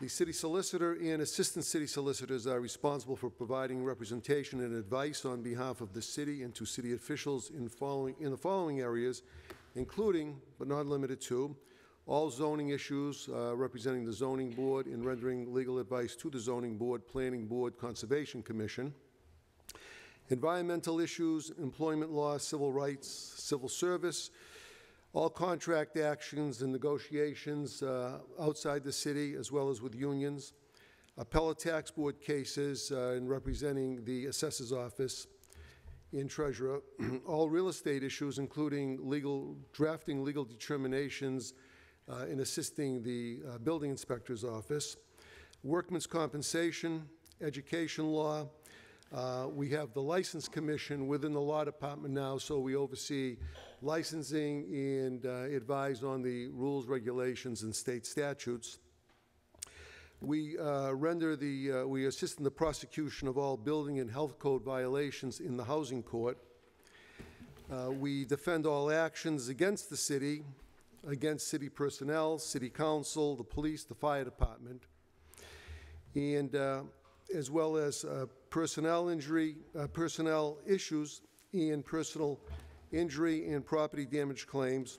We oversee all labor negotiations, grievances, and arbitration proceedings, and civil service hearings. We're responsible for drafting ordinances, uh, reviewing them, and other legal documents, numerous verbal and written opinions rendered to department heads, counselors, and to the mayor. Uh, The law department's paralegal and principal clerk are in charge of administrative and clerical duties associated with the Traffic Commission, including budget and purchasing, collection of surcharge fees, constituent inquiries regarding parking and traffic issues, and parking and ticket appeals and hearings. And the paralegal is the appointed parking clerk. That is a brief summation of the machinations of the law department. Councilors, uh, questions relative to the solicitor's budget? Councilor Sullivan. Thank you, Mr. Chairman. Attorney Nessralla, good evening. Good evening. Um, I had asked Mr. um, Mr. Brophy relative to um, selling tax title properties, um, the fact that uh, Attorney Albanese is no longer that. I just want to make sure, Phil, is, is, is most of it kept, at least the legal aspect, not, not the, the auction, auctioneer, but the legal aspects are kept in-house? That is correct. The legal aspects are in-house. We uh, oversee the results of the auction and the auction, draft the legal documents conveying the deeds, um, and ensure that the- the title is cleared properly. Uh, Just to expand, uh, we did bring in a professional auctioneer, Sullivan and Sullivan. It was conducted by Marion Sullivan. All accounts I've heard from everyone, they're exceptionally pleased with her. She had um, advertised in numerous papers, both um, uh, ethnic and English uh, written, and uh, had posted advertisements throughout all of our our retail establishments, in- in in in particular, uh, our ethnic, uh, non-English speaking as a primary language. Uh, She accommodated us with that request, so I I thought she did an excellent job, and she got great reviews, and she worked at a uh, significantly less uh, percentage on the auction. Excellent, excellent. And, and I say this every year, and not just because I'm an attorney, but, uh, uh, you know, one of the most important of any municipality departments is the law department. And if we look at the city of Brockton Solicitor's Office compared to New Bedford, Fall River, Worcester, Fairhaven, Haverhill, the, the staffing is not on par with those other municipalities. Um, And again, you have some really good attorneys. Most of us have worked with a lot of them, very good attorneys. Um, You know, just recently, uh, a big lawsuit against the city was thrown out, and, and that was a collective effort of your office and our attorney and some other attorneys, so thank you on that. But my question is this, Phil, relative to two line items, the outside legal and the consulting, and I understand there's a lot of pending cases and stuff we can't even talk about, um, but in terms of the consulting, I've asked this of other department heads, you know, it's 96, thou- a little over 96 grand. You know, if you look at it, it's pretty, pretty, pretty s- stagnant, that amount. Could you just explain what the consulting aspect is in conjunction with the solicitor's office? Uh, Mary, I'm just looking for that line. Oh, I'm sorry, it's on page 156, uh, Law Purchase of Service Consultant, 50,000 of that is payment to Cook and Company for taking over the IOD. I'm sorry, I couldn't hear you, Mary. Uh, $50,000 of that, it goes to Cook and Company. and They Company? took out the injured on duty. They took Okay. o- Over So on that. that's right off the top. The other fees are associated with um, uh, process servers. Yep. um, That kind of nature. Okay, no, the cooking, I didn't know that. That's, Arbitration. okay, okay. And then the only other big one that people ask about, and, you know, I, you have to have quality people in-house, but not every attorney in-house knows every aspect of the law, so you have to go outside. I get it. Do, does, does a lot of this right now, Attorney Nessralla, this, this amount that you have budgeted and the mayor matched what you wanted, is, is, it- is that used for pending matters or projected future matters, or combination of both, or? Uh, That would be a combination of both. Okay. Because a lot of these matters are ongoing, and as, as you know, they could be three, four, five years before they come to termination. That's right. So we're trying to couple both of those together. You know, in a, in a, in a, And we normally rely on certain outside counsel for certain matters, as you stated, especially if we feel it's going to be co- protracted litigation where, as you, as you acknowledge, we have a lesser than full staff, and we need those reasons, we need those li- legal lifelines, so to speak. yeah, I mean, in a perfect world, I'd like to see a portion of that money, and it's not gonna happen now, but I'd like, I'd like to get, hire more in, in-house attorneys as well. So, so again, we're on par with Quincy and, and Fair, you know, uh, Fall River and, and the like. Um, Thank you very much for what you Thank you. do, and please, uh, thank your staff as well. I will, It's a thank you. collective effort. And Thank you, I- Mr. I will Chairman. say that it is an excellent staff. They work beyond the regulated hours, they produce excellent work, and uh, they all work together. We all work together, and I'm uh, very pleased and privileged to be working with all of the attorneys and and staff in the office. And I do want to do a shout out as ch- chairman of the ordinance, and, and, you know, the president sits on that. Um, Last year, Attorney Bridges, you and Attorney Bridges and our attorney, Shannon Resnick, I mean, hours and hours and hours of, of work to help us on that, so thank you again. I Please thought that pass was a on my good thanks. collaborative effort with uh, Attorney Resnick and and uh, uh, Attorney Bridges, who put in a lot of time on that. That's right. Thank you. Thank you, While she was pregnant. With triplets. Yeah, that's right. Yes, yes, that's the caveat. Counselor Farwell. Okay, I, uh, to coin uh, Counselor Eaniri's uh, phrase, I I was asleep at the switch. Uh, 530200, legal, 483-324, that's the outside counsel? Mary says yes, so it's Yes. got to be. Yes. Okay, and, and the 198, uh, f- uh, strike that, the 96-810 is the Cook and Company, et cetera, et cetera. Uh, The majority of it is yes. Okay, now, tell me about this 531709 equity suit, 198469. Is that the, the educational? The equity and education uh, case, correct. Okay, now, I, and I'll rely on the, my colleagues, I thought we authorized 100,000 for that. Mm-hmm. And I did not know that, that they were going to keep coming back for the proverbial bite of the apple, now approaching 200,000 this year. Uh, And if they are, why wouldn't that come out of the school budget rather than the city side? Well, first of all, the the $100,000 was never anticipated to be the full boat as to what we I, expended I agree, to I agree. to expand, uh, to expend. Uh, And um, this was important for us to get off the ground, and we have a collaborative effort with several other communities in legal counsel, and we were also very fortunate to um, engage uh, Boston legal counsel experienced in this area that has been willing and agreed to take on uh, most of this, actually, some firms, all of it on a pro bono basis.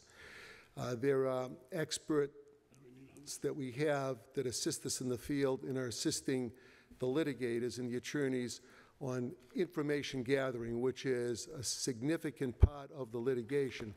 Uh, The historical um, information gathered in the, uh, the inequities of the education, and part of uh, the expenditures is to fuel that which we believe assist us in preparing a, a, in mounting a very strong offensive, and I think we will, uh, the idea is to get the ear of the state legislature that will hopefully uh, come to the altar with us on this, on this um, uh, opinion and not require us to go all the way to litigation, but we have to be prepared to litigate if, in fact, the uh, state legislator, does- legislative body does not uh, see it the same way that we see it. A- And I agree with all of that. I thought uh, that the, that nothing had been filed yet, that it was actually being It- held in abeyance. It has not been, nothing has been filed. We have, uh, we are in a pre-litigation stage. Um, Part of the process was to make a very strong and effective statement to the state legislature, legislative body. Uh, I, together with the mayor and several other communities, have met with Maura Healey. We've laid out on, because she would be the body that would be representing the state, and she seemed to be very attentive, very understanding, and very cooperative with the concerns that we have. Uh, Brockton is basically the lead in this. As you know, we have a long history uh, with, with that issue. Um, I mean, a lot of the preliminary groundwork was done originally. I don't know if that can be, some of it resurrected. I, I guess Well, some what of it, but the- the, facts have changed, but, uh, yes, I- some I of gue- it, whatever we can I guess what I'm we saying is, utilize. not to interrupt you, but we've gone from 100,000, now we're up to 198,469, and I, I'm just saying that, you know, maybe there needs to be a timeout, and we assess where we are with all of these other communities. Are they kicking in the same amount of money we are? But the other basic question is, why come out of the general fund? Why not come out, eh, on the municipal side, why not come out of the school side? Yeah, I, um, have we,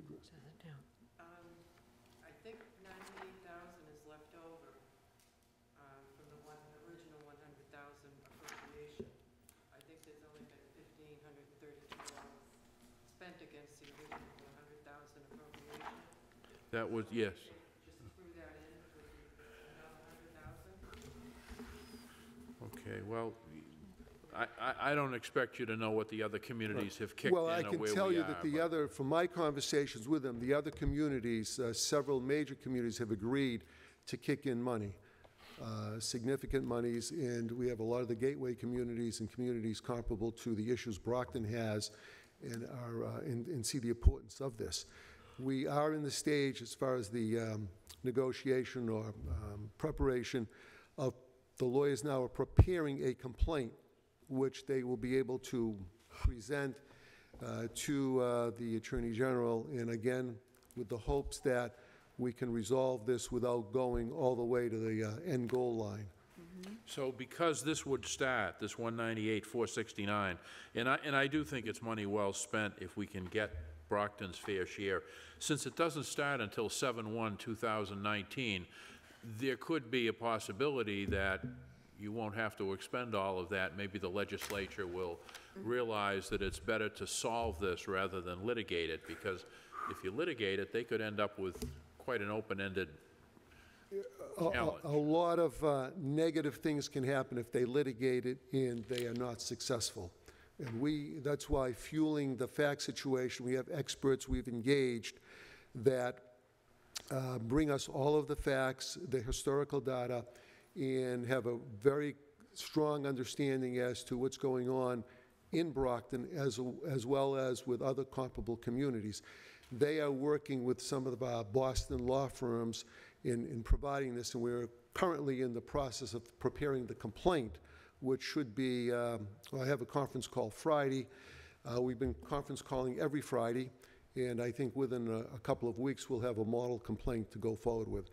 This is an exceptionally important um, uh, action, civil action by the city of Brockton. The city of Brockton has been leading this. The, the mayor, um, he, he kicked this off some time ago. It's been an overriding concern on his end, and I think it uh, is a requirement for the benefit of the, the students, the children of Brockton.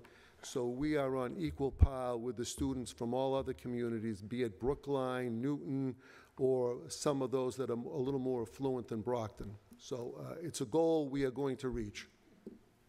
Thank you, thank you, Mr. Chairman. Thank you, Counselor. Um, I'm going to stop having Counselor Derenoncourt come up here because every time he comes up, he turns my microphone off. Uh, Counselor Asack. Thank you. Uh, Good evening, Mr. Solicitor. Um, There was a judge that did that, and it wasn't too, Well, it that's didn't what go he over just too did good. several times. I'm here kind of doing lip reading, you know? Good evening. Good evening, Counselor. Uh, Question, you have a line item here, 40U dis- dispute, 100,000. I was under, the I remember, I believe in last year's budget, we were going to get a- an agent or maybe somebody in your office that was just going to do kind of work Well, we have, priority on uh, 40U. we have some outside agents that, um, one, we have to send them to training, and secondly, what's been the delay in implementing this, which is long overdue and well-needed, is there's a requirement that, um, uh, what's the name of the company downstairs, Mary? What's the name of the company that collects the bills? Yeah. Interesting. Kelly and Ryan have to be trained, and I, I- Attorney Eileen, Aileen Bartlett indicated, I believe it's mid-June, there'll be a company coming in to train the department heads and Kelly and Ryan on how to collect these funds. But uh, there is uh, several matters that are awaiting the 40U hearing officer, so we can uh, collect it um, promptly and efficiently. Now, our department could and will step in where needed, but to avoid conflicts, I thought it best if we could stay remote from it and have an independent hearing officer, uh, especially if our department is prosecuting a, a particular matter and seeking the collection. I just think for optics, it's better if we stay arm's length. So is that what that 100,000 is for? That Is is for an correct. independent Yes. person? Okay, thank you. Uh, Thank you, Counsel. Counselor Derenoncourt. Uh, Mr. President, I think I'm all set. I think uh, Attorney Nez- um, Nessralla just uh, responded uh, the question that I was going to ask and we got to that line item. Thank you. Shocking. Thank you, sir. Uh, Any, anything else for the, uh, relative to the budget? Going once, twice, three times? Thank you, sir. Thank you. Thank you. Number 11, please. DPW Engineering, Chike Odonkwe Engineer. Okay. Mr. O'Donoghue, how are you? Come on up to the microphone and, Uh? Good evening, How are you? Chairman and city councilors. Um, The uh, engineering division is tasked with performing um, engineering design and management of roadways, sewer, water, and drainage, supervising their design and construction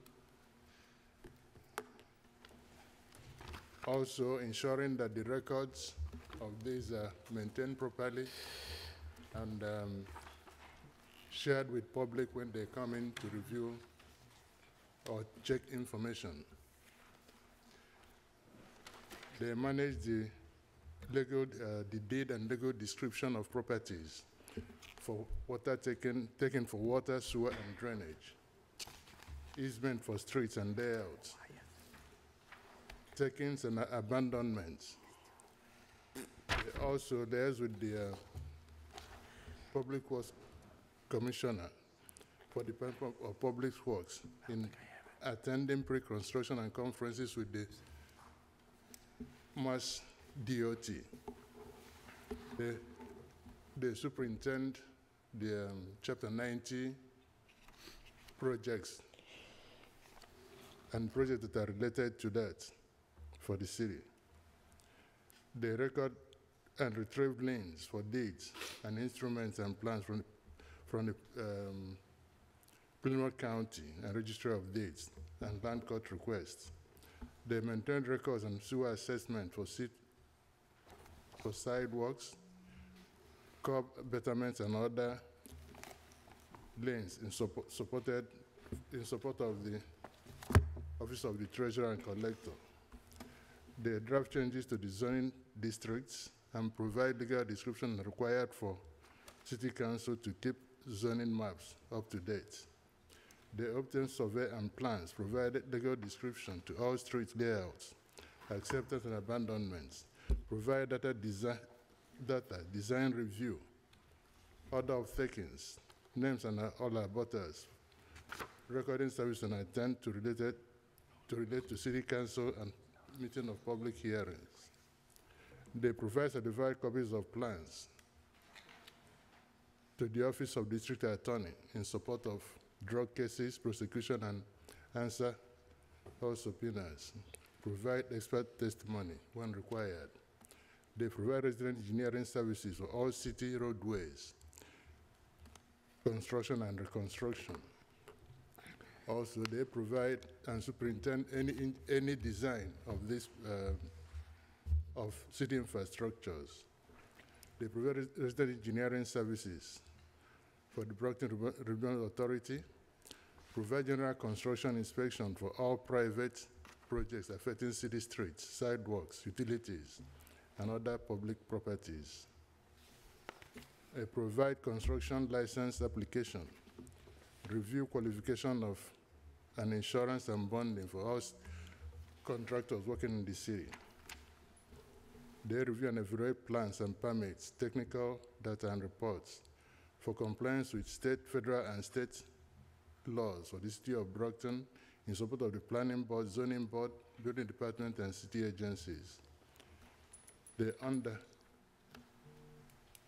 they understand and apply the zoning ordinances of the city of Brockton on subdivision control law, River, River Ways Act and Wetlands Protection Act, and Clean Water Act in support of the planning board in approving projects. They advise the public in preparation of a variety of plans and specifications prior to presentation to the city, the planning board and, and the conservation commission. Contribute to development of plans, ordinances, subdivision control laws and regulations, and site review policies. Research, analyze, evaluate each, each using recognized engineering standard and uh, practice. Participate in special multidisciplinary tax meetings with city and community groups, agencies such as Old Colony Plan Council.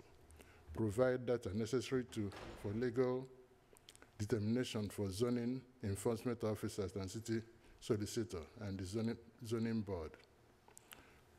Provide a member to this uh, board of surveyors as required by the Mass General Law. Also, the the trained staff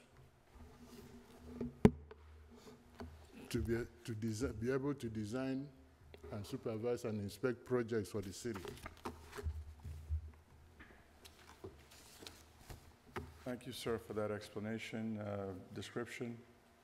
Uh, Councilors, anyone having any questions for the city engineer? Once? Actually, I, I, I'd like to uh, ask Commissioner Rowley to come up, because he's in charge of that. uh, If there are no objections, please step forward and speak to the microphone. Good evening, Good evening. Commissioner. Commissioner Rowley, uh, you have always been a consummate gentleman. You have responded to text messages and phone calls. I, in the three and a half years that I've been here, I actually have nothing negative that I could offer uh, about your professionalism or how you carry out your duties. I am going to tell you, though, that I'm not happy about this DPW engineering budget, which is a public document. It's, it's, it's not just for us, it's for the public. And to put in here that you need civ- additional civil engineers and an administrative assistant because of a stormwater ordinance which hasn't even been introduced yet. It hasn't even been read. It, it isn't even before the council. That's, that's disingenuous at best, and I don't know who thought about how to present this, but it's, it's purposely misleading, in my opinion. And I, and I have to tell you, I, it's about the only negative thing I can say since I've been here. Uh, I just don't think that's the way to operate. The mayor can put in an appropriation at any time. If we pass a stormwater ordinance and somehow we mandate that we have to have two or three more civil engineers, there is nothing that would preclude him from putting in an appropriation to cover those salaries. But to put it in this budget, which of course would go on the levy, which of course drives the tax rate and, and the burden to the taxpayers, I, I gotta tell you, I don't agree with it. Now, um, I don't know what will happen to these, these figures. Um, You know, that'll be up for further debate, but it, it just shouldn't have been done that way, Larry. I mean, it, it really shouldn't. Uh, And then I even got an email, and I think we all got an email saying that this was mandated by some stormwater or storm water ordinance. So I sent out something to some colleagues who have been here a while saying, do you remember passing this? I don't even remember it.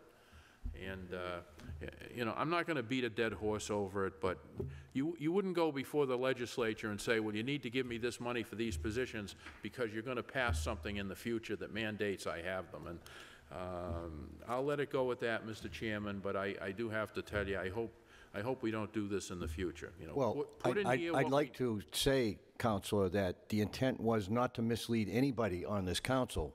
Um, But by putting this in, and maybe we were wrong, uh, maybe we should have waited for the ordinance to be passed and then come in front of you. Um, Maybe that was the right way to do it. I'm not disagreeing with you, but it was not put in there to mislead anybody here. It was not done on a sneaky note. Um, You can always take it out when you cut, when you cut. I mean, we have two different budgets here. We have one with that in it, and we just have our regular budget. Yep. So that's why we put it in. So if you feel as though you want to cut it out of this budget, go ahead, until we get it passed through the ordinance. I've been waiting a whole, almost a whole year to get this ordinance heard. We had to develop it because by July 1st, we're mandated by the state to get this done, which we're, we're kind of ahead of ourselves anyway. We are doing a lot of this work. But, but um, year two, we have to have this in place. We have to have ordinances in place. We do have time to do this, so I, I'm, I'm not disagreeing with you, but it was no intent. And I don't work like that, so I, I kind of don't like that from coming from you either. It- um, And I, I- That I, you know, purposely did this. I did not do anything. Well, I, We put it in didn't say there you and you can cut it. purposely, I didn't say you purposely did it, but I do think it's misleading when you submit a document to the council indicating that we need to fund certain positions because of a stormwater ordinance that no one has even read or That's- looked at. that- and that's so, correct. uh, eh, l- Let me say this, if, if DEP is mandating this, I, I'd like you to provide a copy of the documents that, that indicate that to all of us. I'd Well, like it's, to see it's that. known, it's been known because the city of Worcester tried fighting this for two or three, four years, and we all did it in a collaborative manner to try to beat this stormwater ordinance, because it, it is gonna be an extra fee to all of us. Well, it- And, and, and they lost in court, so we're gonna have to do it, but we'll, we'll just, I, I I just ignore that part apologize. of that piece of the budget then. We'll just go with the regular engineering budget, and I'm sorry that happened. And, and I, I'm just not, and I'm not being facetious, I didn't see anything in the news media. I wasn't aware there was a stormwater issue in the, in the No, it's- it's- it's Commonwealth, been- so. It's, it's been huge with uh, all the but, cities you and know, we'll- towns. I'm sure whatever you put before the council, it'll go to ordinance. Counselor Sullivan is And then we'll come chair, back in for a sup, yeah. And then we'll, we'll do it in the right order. I So, agree. uh, Thank you, Mr. Chairman. Boy, we can, uh, we can always come to an agreement, which is good. Uh, And I haven't used the gavel once uh, this whole uh, budget hearing. So far. Feel free, Yeah. feel free. Should we do it? Okay. Uh, Thank you. Uh, If there are no no additional questions, uh, thank you very much, uh, Mr. Engineer. Uh, Madam Clerk, um, we are at number 12. Okay. DPW Commissioner Lawrence Rowley, Commissioner. Mr. Rowley, now it's your turn. You might as well pull up a chair. You know, I'm gonna be here for a while. Can I just say, I, I misspoke. It's not DEP, it's EPA mandated. That's the feds, Well, we- Yeah, whatever, whatever. One- we've One of got. them, one of them. one of the agencies. Go right ahead, sir. Um, Again, good evening, councilors. I, I have six or seven budgets to go through. Um, I'd like to read the mission statement as I go to the budget. I don't want to do them all at once. Please do. Okay. So this is my budget. Um, So, the Department of Public Works Administration section to administer and oversee the personnel daily operations of all the Department of Public Works divisions to ensure the safe, prompt, professional, and courteous completion of all city services provided by the Department of Public Works. The commissioner sets all procedures and policies for the efficient operation for all DPW divisions and sections. So with that, I'll take some Any Questions on this budget? questions directly to the commissioner with regards to his commissioner budget? And Then we can get into the individual departments, but right now, it's just the commissioner's budget. Any questions? Madam Clerk, the next one. DPW Refuse, Lawrence Rowley, Commissioner.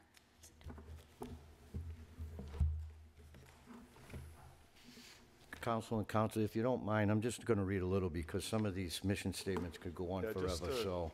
um, I mean, refuse, e- everybody, it's well-known, but Well, Commissioner, one of the things that we wanted to do is that uh, we often hear from the constituents that they have no idea what she, what the departments do. Correct. So we wanted just to do something a little different in terms of introducing the departments to the community. Right. People that are watching us, we know what you do. Right. But the folks that might be watching us on TV have no idea what a particular department does. That's why we wanted it. No, I, I understand.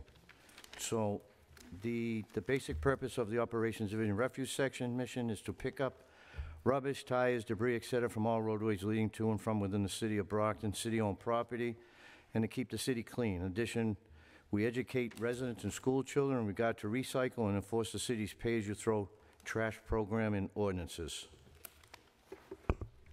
With that, I'll take questions on this. Any questions for the uh, commissioner with regards to the refuse? Hearing none? I, I do, I just, Council Sullivan. good evening, Larry. Larry, you remember a while back you told us that certain stores in the city of Brockton um, didn't have the, the Brockton bags because they, in essence, were stiffing the supplier? Has that, has, I think Walmart was the one, if I. I, I believe Republic has them in court right now. Couldn't hear you. Republic has Walmart, Oh, okay. Walmart. Walmart. So it's all, that's all squared away? They, they are not carrying our bags. They are not? They are not. Okay. No. Shaw's is But we did pick up Lowe's. They are talking to, um, Home Depot, CVS, all these little markets. There's plenty of bags. There's always bags at the recycle center, and there's always bags on the third floor. Great, thank you. Okay. We've never ran out of bags. Right, it was just Walmart had stiffed Republic on the bill. Yes, and, and- Okay, and they won't really relinquish the truth on what happened, Yeah. so I guess I just did. all right. Thank you, thank you, Mr. Chairman. Thank you, uh, Counselor. Uh, Madam Clerk, item number 14. DPW Highway, Lawrence Rowley, Commissioner. Commissioner. So the Department Works Operation of the Highway Section responsible for repaving and maintenance of all public roadways within the city of Brockton. Um, The proper response to snow removal, sanding, salting operations, um, maintenance of all ro- of all roadways by filling potholes, trenches, uh, response to emergency wind or rain incidents, the responsibility of the Operations Division. Street sweeping of the neighborhoods, we do twice yearly. Cleaning of catch basins, rivers, maintenance of the city drains fall under this division. So With that, I'll take any questions. Any questions? Counselor Asack, followed by Counselor Cruise. Good evening, Commissioner, and thank you for all that you do. It wouldn't be budget season if I don't ask. Is there any way we could try this year to get the street sweeper out? Maybe one, I know they, it goes out, they go out in the spring and the, at the beginning of the spring, but is there any way we can get them out more often, just maybe on our main, main Well, streets? it- I know it- they do a lot of the side We streets. do, we do, um, we hire sweep, uh, three sweepers in the spring and three in the fall. In the meantime, we have one that goes out every day, that's in-house. He does Main Street, Warren Ave, he does in between Spring Street, that gets done, I think, every morning. Can we send them Um, at the and bottom then- of Prospect?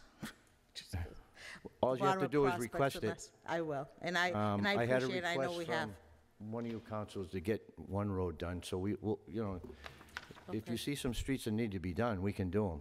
Perfect, and I appreciate that, and I know we Um, have constituents that do call us, and that'll say, I believe at one of your at-large meetings, the lady was complaining about, I think, was it Fuller Street, counselors? That It was Fuller Street she was asking, so we'll call the department and give, Yeah, uh, that's ask for fine. that, so we appreciate it, thank you. You're welcome. Counselor Cruise? Thank you. Uh, Just, I see in this budget here, you have 105,000 in separation costs.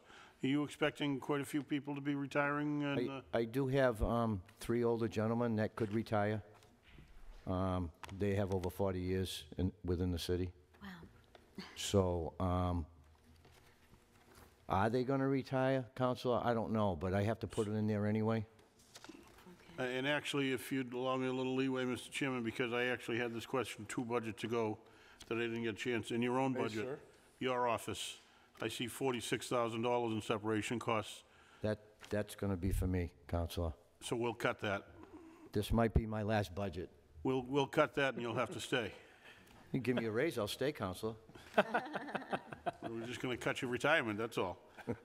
Um, I, I was afraid of that. Okay, thank you for the, uh, He's not going anywhere. thank you, and thank you for the work you do, Larry. Welcome. Thank you, Counselor. Anyone else? Madam Clerk, there, oh, Counselor Castro. Thank you. Good evening, Mr. Rowley. Speak Oh, I'm brie- sorry. That's okay, sorry. I'm still in highway. Speak briefly to paving the roads. I get so many calls. I know, Counselor, and- and, and I do too. And I just wish we had the money to, it would make life easier, a lot easy, a lot easier for me. Um, We have the $2 million that we get every year from the state. And what I try to do at the end of the year with all my budgets is I try to encumber whatever money I can in the correct line item so I can use it for paving. So I think last year I had 700,000 that I was able to encumber, but, I mean, just to do um, Copeland Street was like $500,000 to do that. Um, Cole Road is like 400,000. So it's not cheap anymore to, to do a street, and we just don't have enough funds. I wish we did. And then also, some of the streets in, in Council Beauregard, I can't do them because the infrastructure's so bad. And I feel bad for these people, but water, sewer, drain. I mean, I say it every year, when you build a house, you need a found, a good foundation. So the top of the street could look beautiful, but underneath is, is, is bad. And I don't want to go in there and have to put a hole in, which I've already done on one of these streets um, that we just repaved. I think it was Morrison. Because of all the, all the work we did, and the vibratory roller goes over there and it shakes everything, that the, these pipes are not in great shape. And I'll talk about that when we get into the water and sewer budgets. So, yes, give me some money, it would make life a lot easier. I'd love to pave all the streets. Of course. Thank you, Mr. Rowley. Thank you, Mr. Chairman. Thank you, Councillor, Uh, Counselor Beauregard. Thank you, sir. Uh, Thank you, Mr. Rowley, and uh, we appreciate what you do. And yes, um, we're trying to get you more money. Believe me, I'm up at the State House all the time with my hand out, and uh, we're trying, in you know, different ways. But I am curious, is there ever an occasion where you're mandated to repair, uh, you know, a road or, or see that it's, you know, paved or what have you? Not that I'm aware of, Counselor. Okay, I was just, I was just curious. Thank you. I should be. That one of the couple streets you have in your ward. Yes, yes, I'm well aware. We could, we could be here all Oh, night naming yours them, too, yes. Jack. Thank you. Thank you, Counselor. Anyone else? Uh, Madam Clerk, the next item, please. DPW Maintenance, Lawrence Rowley, Commissioner. So, Counselor, this, this is a small two-man operation. Um, They maintain most of the, um, all the vehicles in the Operations Division. Uh, They maintain the snow and ice removal equipment, perform maintenance on city vehicles on a case-by-case basis, and review specification for new equipment that we may order fully equipped for public works. There's not much to this uh, budget. I'll take any questions. Any questions for the, co- Counselor Cruise? Just one, Chairman, $380,000 for gasoline. Is that just for your department, or does that cover other departments? That covers other departments, So Counselor. police and fire, Police, fire, school, so everybody basically goes down to Oak Hill Yes. Way and gets the Yes. gasoline? And that's, that's everybody? yeah, the, it- it- the police, uh, I mean, the fire do their smaller equipment, I think the larger equipment, their trucks, they do it their own place. Okay. We do all the, the cars and small trucks that they have. And that's all gasoline, or is that diesel under there, too? I mean, do you have diesel down there also? Gas, it's, it's gas and diesel. And diesel, thank you. Thank you, Mr. Chairman. Thank you, sir. Um, Madam Clerk, the next item, please. DPW Renewable Energy, Lawrence Rowley, Commissioner. So, Counselor, this is another budget that, thank God, there's no personnel in it, but it, it's just, we oversee the Brightfield project, Brightfield project is on Grove Street, it's solar panels, generates power for us. Um, What I have to oversee is probably the maintenance of the Brightfields itself. Any questions on that item? Hearing none, next item, please. DPW Sewer, Lawrence Rowley, Commissioner. Sewer. Commissioner. So the, so the- the, the mission of the sewer div- division, i- this is an enterprise fund. Um, It's to maintain all sewer lines throughout the city of Brockton. We perform 24-hour emergency services to those connected to our system that should have the sewage backing up into their property. The sewer division is responsible for performing preventative maintenance work on all sewer connection, replacing all sewer lines, the installation of new and repairing of existing, of existing sewer services. Um, It's just a a marking out sewer service for utility companies and contractors. Um, The sewer division maintains and repairs over 320 miles of sewer. And we sewer approximately 23,000 plus or minus custom- uh, customers. Any questions on this? Counselor Sullivan, followed by Cruise. Thank you, Mr. Chairman. Um, Larry, I- I don't have any question per se about the dollar amounts, but I've been asked by a couple different constituents, there's some rumor floating around relative to maybe the city taking back the plant and Veolia being out of that business. Do you have anything? That's, that's hearsay right now, Counselor. Okay. Um, I can say we are looking at it to see if we can do it cheaper. Okay. Is And that if we- contract up relatively soon, or It's uh, 2020? this year? 20 2020. 2020, so, um, So it's being looked into? It's being examined? Excuse me? It's being examined potentially? Yes. Okay. Yes. Okay. All right. Yes. We're, we're looking at, us taking it over, and we're looking at extending or putting it back out to bid. Okay.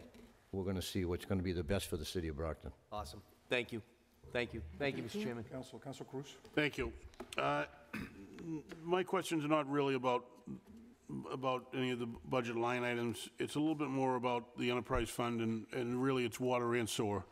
So we clearly need to raise the rates so we can start. uh, The sewer system, as well as the water system, are in badly, badly in need of major repairs, correct? Correct. I mean, as you were mentioning, some of the roads, you can't, you can't even send trucks down. You, you can't do a, a a repave because of the infrastructure underneath. Correct. So it would seem to me, and you tell me if I'm wrong or if I'm being a little too simple in this, if we were to r- raise the rates enough to where we really have an enterprise fund and can start to replace, um, talk about sewer lines right now, when we replace those sewer lines and water lines, we then have to rebuild the road as part of that money, correct? Correct. So, the way to get money that we're clearly not getting from the state, I mean, we, s- the $2 million is about the same amount we got 20 years ago from the state, and is probably worth about half as, half as much because of the cost now of, so, so 2 million could probably do 20 miles for you 20 years ago, does 5 miles of road for you now. Right. But if we get, raise those rates and start to fix the infrastructure, which is, instead of emergency repairs, we make a plan and we start to replace those. Part of that money that we raise in those rates, which are not just voters in Brockton, but, but also come out of ratepayers outside of the city, we can then, we have to replace those streets, correct? Correct. So it seems to me, I don't know why we don't get the numbers up to where they need to be to replace those, to, to make those capital improvements where, I mean, how many times during the winter in particular, especially when it's cold, are your guys out at three in the morning for, or two days to repair emergency breaks where if we start replacing those, now we're not patching the street, Mm-hmm. but part of that replacement, it comes out of that enterprise fund. Is, is a new roadway This is also. the new road. So we kill two birds with one stone, and every councilor here admits, every ward council will tell you in particular, the single biggest call we get is not about public safety, and it's not about schools. The single bi- biggest amount of phone calls every one of us gets is about repairing the roads. Mm-hmm. So if we just repair the pipes, which need to be badly repaired, we're gonna get new roads out of it at the same time. Correct. So it's a double bang for that dollar. We, we've already done that in, in Ward 6. We did Tina and Norwich, and we did Torrey Street. Right, We- but if- we- we what I'm saying replaced is- Water sewer drain, and we put a new road in. So That's the way it should be done. all, all the time, and it's a double bang because we have to replace the pipes, Yes, and then once we dig that road up, we have to replace the road. yes. So for the same nickel, for, for the water ratepayers and the sewer ratepayers, we can do both things that we need to do. Yes. Then we can concentrate on, with the Chapter 90 money, on the places that already have infrastructure that's been replaced or is in better Correct, shape. correct. Uh, Just, I hope everybody remembers that later in the spring when uh, I'll do the unpopular thing and propose water and sewer rate increases to get us to where, uh, and again, Mr. Clarkson may not even be able to give us an answer on this yet, but we, s- the city has paid parts of the water enterprise fund for years now, instead of all the ratepayers. And it's a, it's a shame, and it's a, it's an insult to the ratepayers. They don't get it. They, they, nobody wants to see taxes go up or rates go up. But when the rates go up for the water and sewer, you get something for it. And it's something that we absolutely have to replace anyways. You, we still have clay pipes out there, don't we? Excuse me? You, we still have clay sewer pipes out there, don't don't oh, we? There's a lot of clay out, yes, Yeah. yes. A- And that's a, that's a major issue. Mm-hmm. So, I'm, gl- I'm glad you brought that up, Counselor, because I have been talking to the new CFO and the Budget Director, and we are coming up with a plan, which we will be re- pre- presenting to you in the fall. You want to talk about it? Sure. This is a very timely issue, as Larry mentioned. Uh, We've been meeting for a while now. Uh, I actually cut my teeth in uh, municipal finance as the finance manager for an enterprise fund. Uh, So I'm intimately familiar with with how they work and would absolutely 100% concur with the sentiment of uh, Councilor Cruise that uh, particularly in the water, uh, the water's inability to cover its expenses. And it's important to note that when an enterprise fund can't cover its i- expenses, it is literally subsidized by the general fund, by the taxpayers of the community. So it's really an important fiscal issue because not only when the, when the general fund has to cover the enterprise, uh, not only is that an expense, but that typically means that the enterprise also does not pay uh, its administrative reimbursement to the general fund. So it's really a double whammy in terms of uh, lost revenue. So Larry and uh, Karen and, and Andrew and I are working on a plan uh, that's fair and equitable across uh, all sections of the community and all ratepayers to try to figure out a way uh, to, to be able to bring more revenue into both the water and the sewer enterprises so that we can invest long-term uh, in, in repairing and replacing that infrastructure. I mean, otherwise, we should get rid of the uh, enterprise funds and just make it a straight subsidy from the city, which is silly, because we do, particularly the water goes out into the other, uh, out into three or four other communities, correct? Yes. Yes, so, thank you, thank you for your patience on that, thank you. Thank you, uh, Council Cruise, Council Fa- uh, Lally, followed by Farwell. Right, all right, sorry. I'll be quick. Um, you know, I just want to echo, you know, what, what's been said before. Uh, you know, I, I absolutely agree that, you know, water alone really needs the boost. Um, I think we spoke closer to the end of winter. Do you, can you recall off the top of your head how many pipes or bur- how many bursts you had to, uh, react to? Yeah, I was going to bring that up at the water budget, but I Oh. believe, um, and it all happened when I came back from vacation, I believe it was like the first week of January to the beginning of March, we had over 130 water leaks.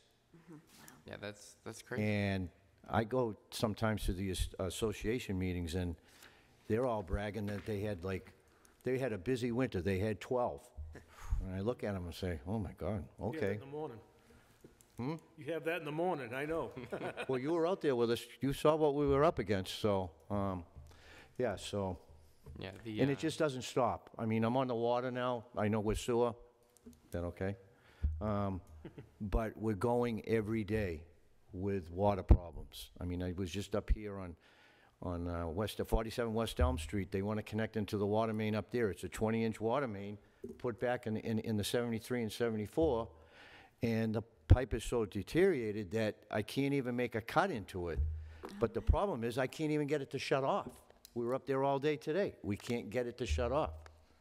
So these are the problems we encounter every day. N- Not just that, but it's just, you must get poor pressure calls, you get discolored water calls, um, low pressure calls. I mean, especially up in the Brookfield section. Oh, yeah, oh, yeah. There's nothing we can do unless we increase the size of the pipes.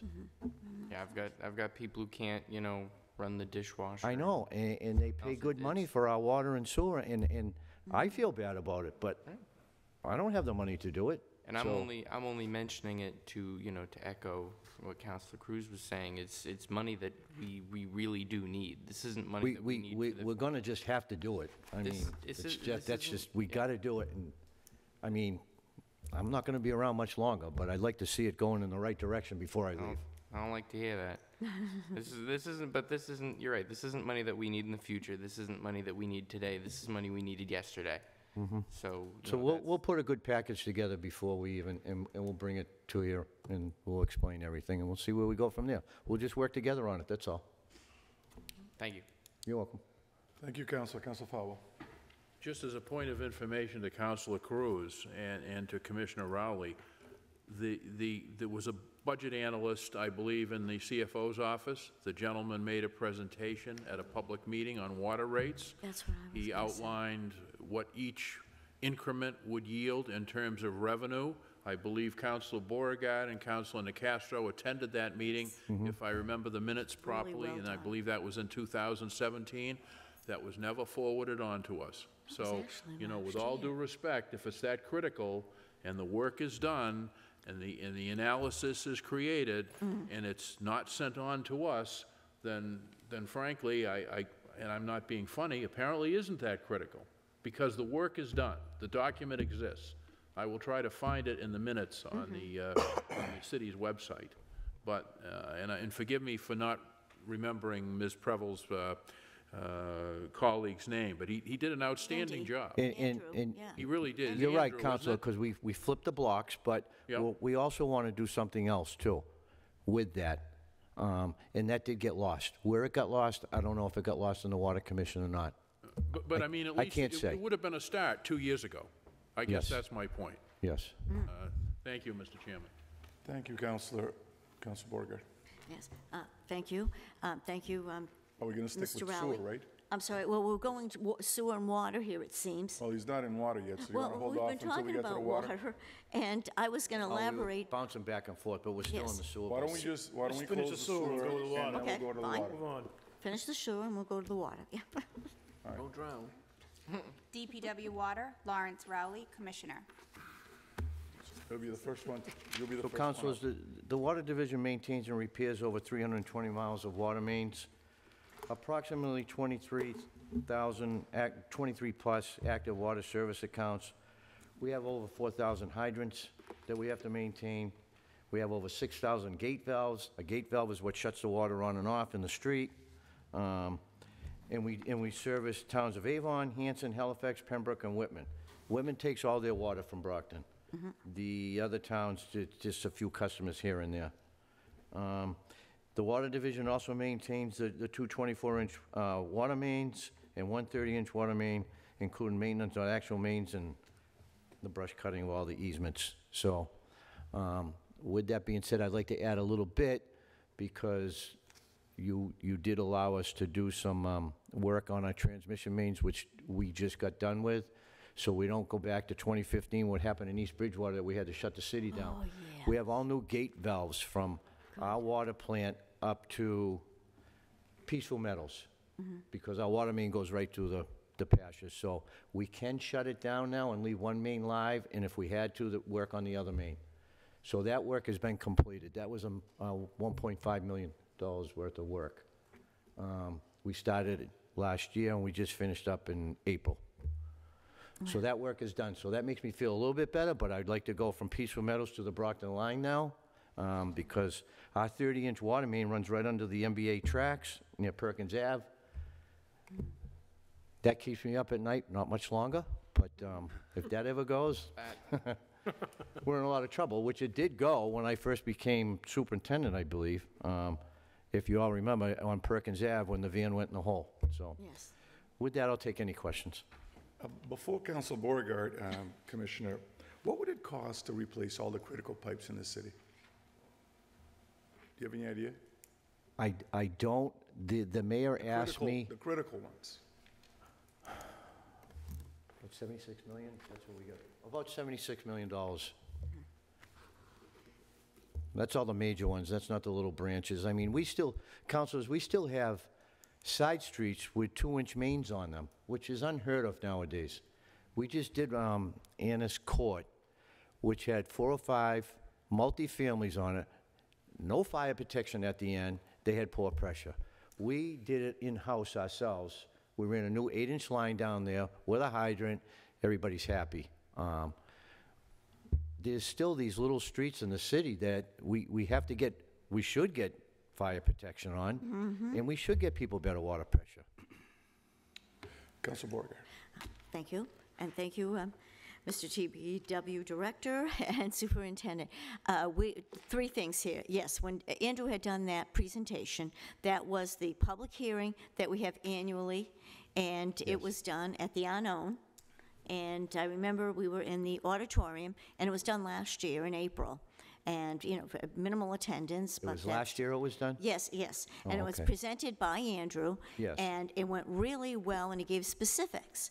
Now, at that same time, we were also making some changes with the governing portion of the Water Commission that's now, because of an ordinance, a, um, what I'm going to say advisory, and I'm aware that generally they don't meet. But I remember that there were a few discussions and an agreement of how we were charging certain bills that we, uh, how would I say it, fees, I'm going to take that back, fees for certain situations, and that we were not comparable to some of the other communities, and that could also be another revenue, you know, not massive naturally, but um, another, you know, sense to review. And in some circumst, cir- some circumstances, when people needed to have like an inspection or something like that with your department, that um, they were fortunate uh, that it wasn't, uh, you know, a situation where they charged. And apparently, maybe that needed to be revisited. Again, that's not a reflection on yourself, that you came into that, but it just, I guess we needed to, need to evolve with a few circumstances, and in that case being the, the fees, you know, increasing, just like a lot of other things do for those that, you know, need the, how would I say it, the services, uh, and, you know, generally what, they're one time, and the other being for um, some other circumstance with the inspection, and then again with the revisiting in the water. Now, I'm also bringing that up because you're talking about the size of these mains. And it said here, and this, you know, uh, was up here just briefly, that um, when talked about his mission statement, working with BRA, and more than one instance it says working with BRA, as in Brockton Redevelopment Authority. Now, it seems that every time we turn around, there's this presentation of putting in more apartments. And I mentioned at one of these, how's this going to work? I mean, if it's six floors, for example, three floors or whatever, and there's 40 apartments, so isn't there going to be a time when there's, the water just won't make it because of our antiquated infrastructure? It, it, it, it all depends on what part of the city we're talking about. If Oh, you're it's talking prim- about primarily Main, downtown here. Montello, Warren, we have plenty of water there. We have big water mains there. Okay, so that So we would, could, yes, we have plenty of water. So primarily when you're saying with these smaller water mains, Yeah, they're in the if- like I, neighborhoods? like I just said, Council, if they wanted to build it and we see, we have a two-inch water main there, I'd say, no, absolutely not, you can't do that.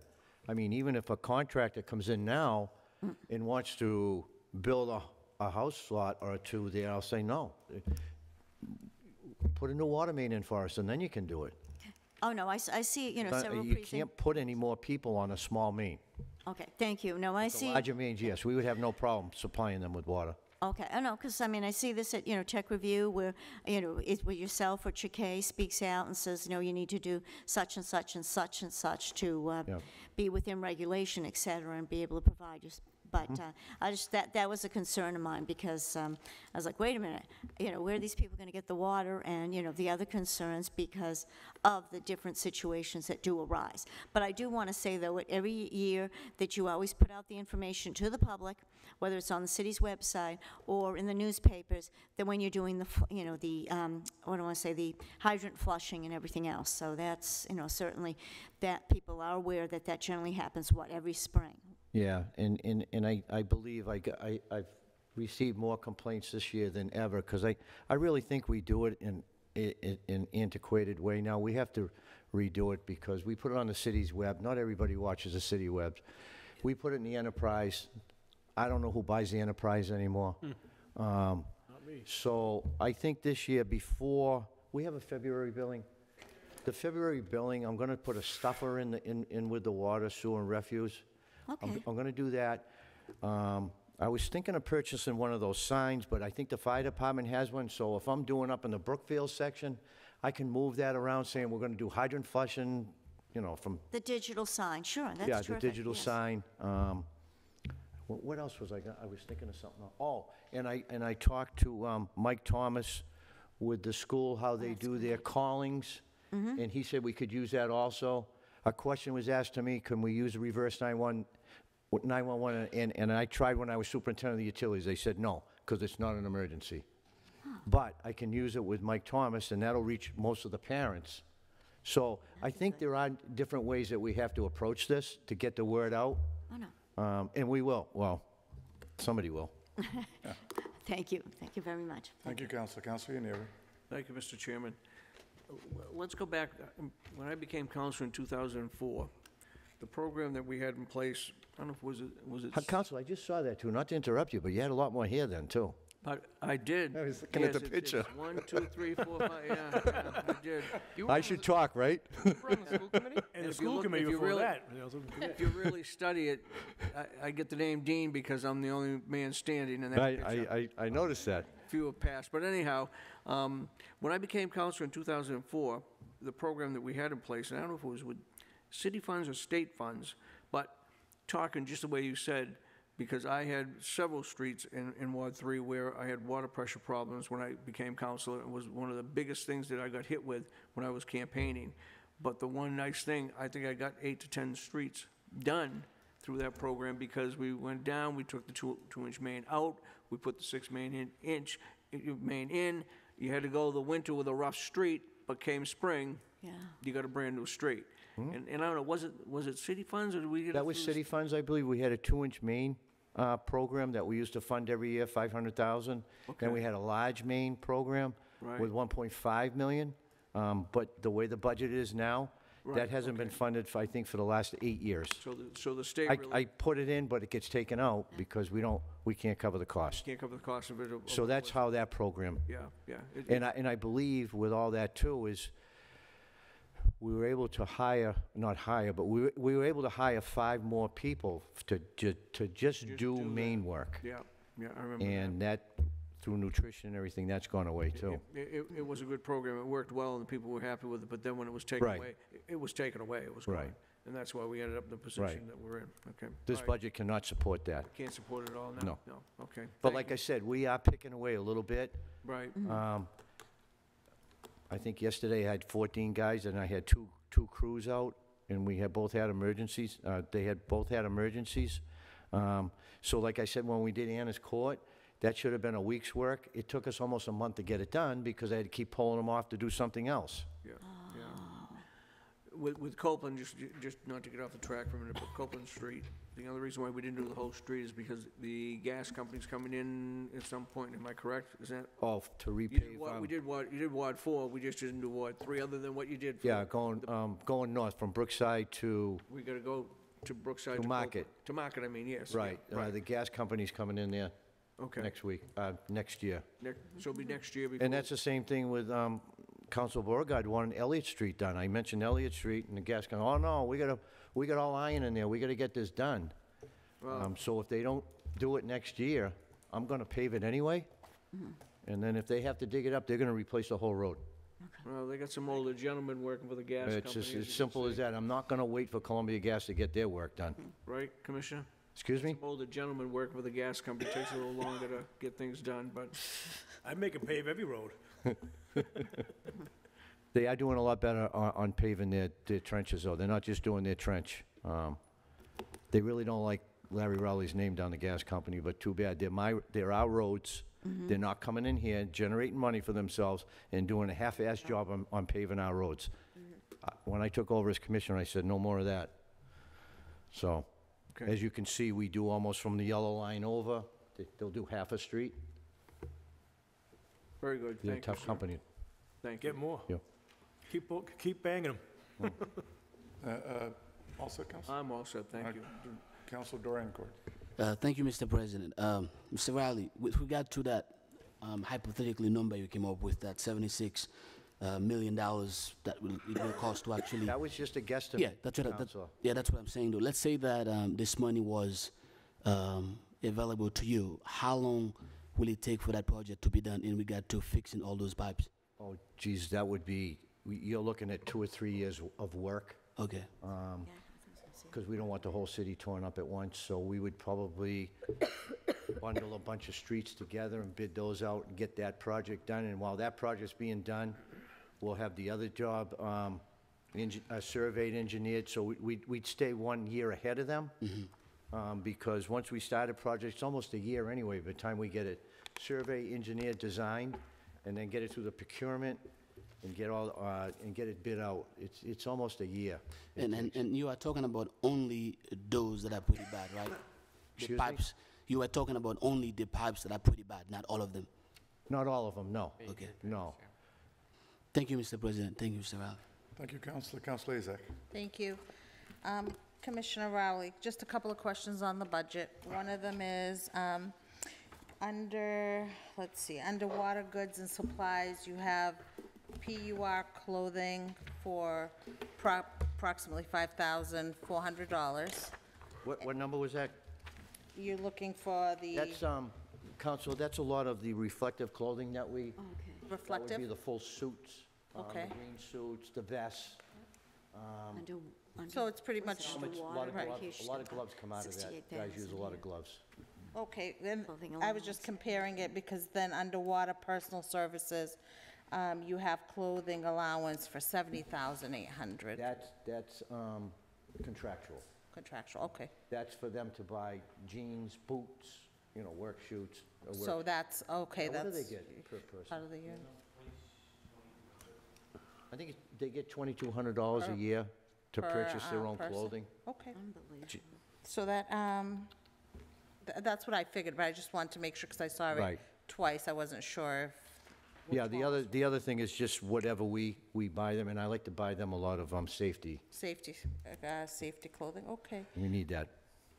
Yes, we do. And um, that brings me to, then you have under water purchases, purchase of service, public safety.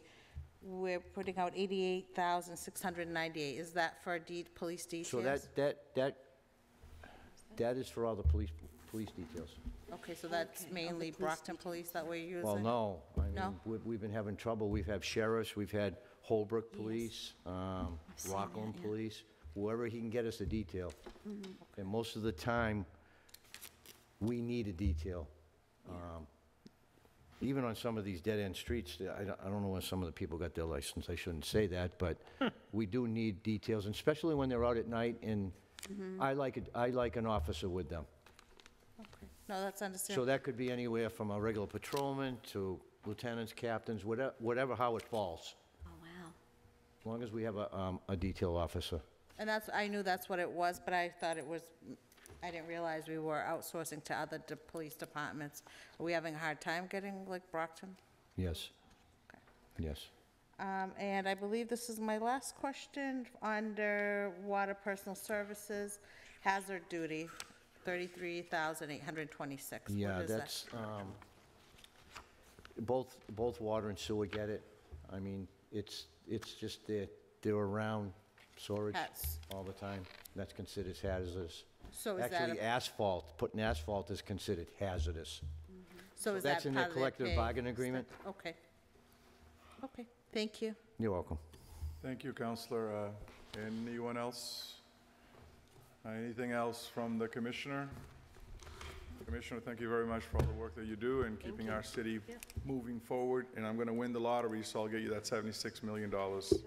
That would be great. Give me a hundred while you're at it. Yeah? Thank Uh, you, councilors. Councilors, Thank you. thank you, sir. Thank you.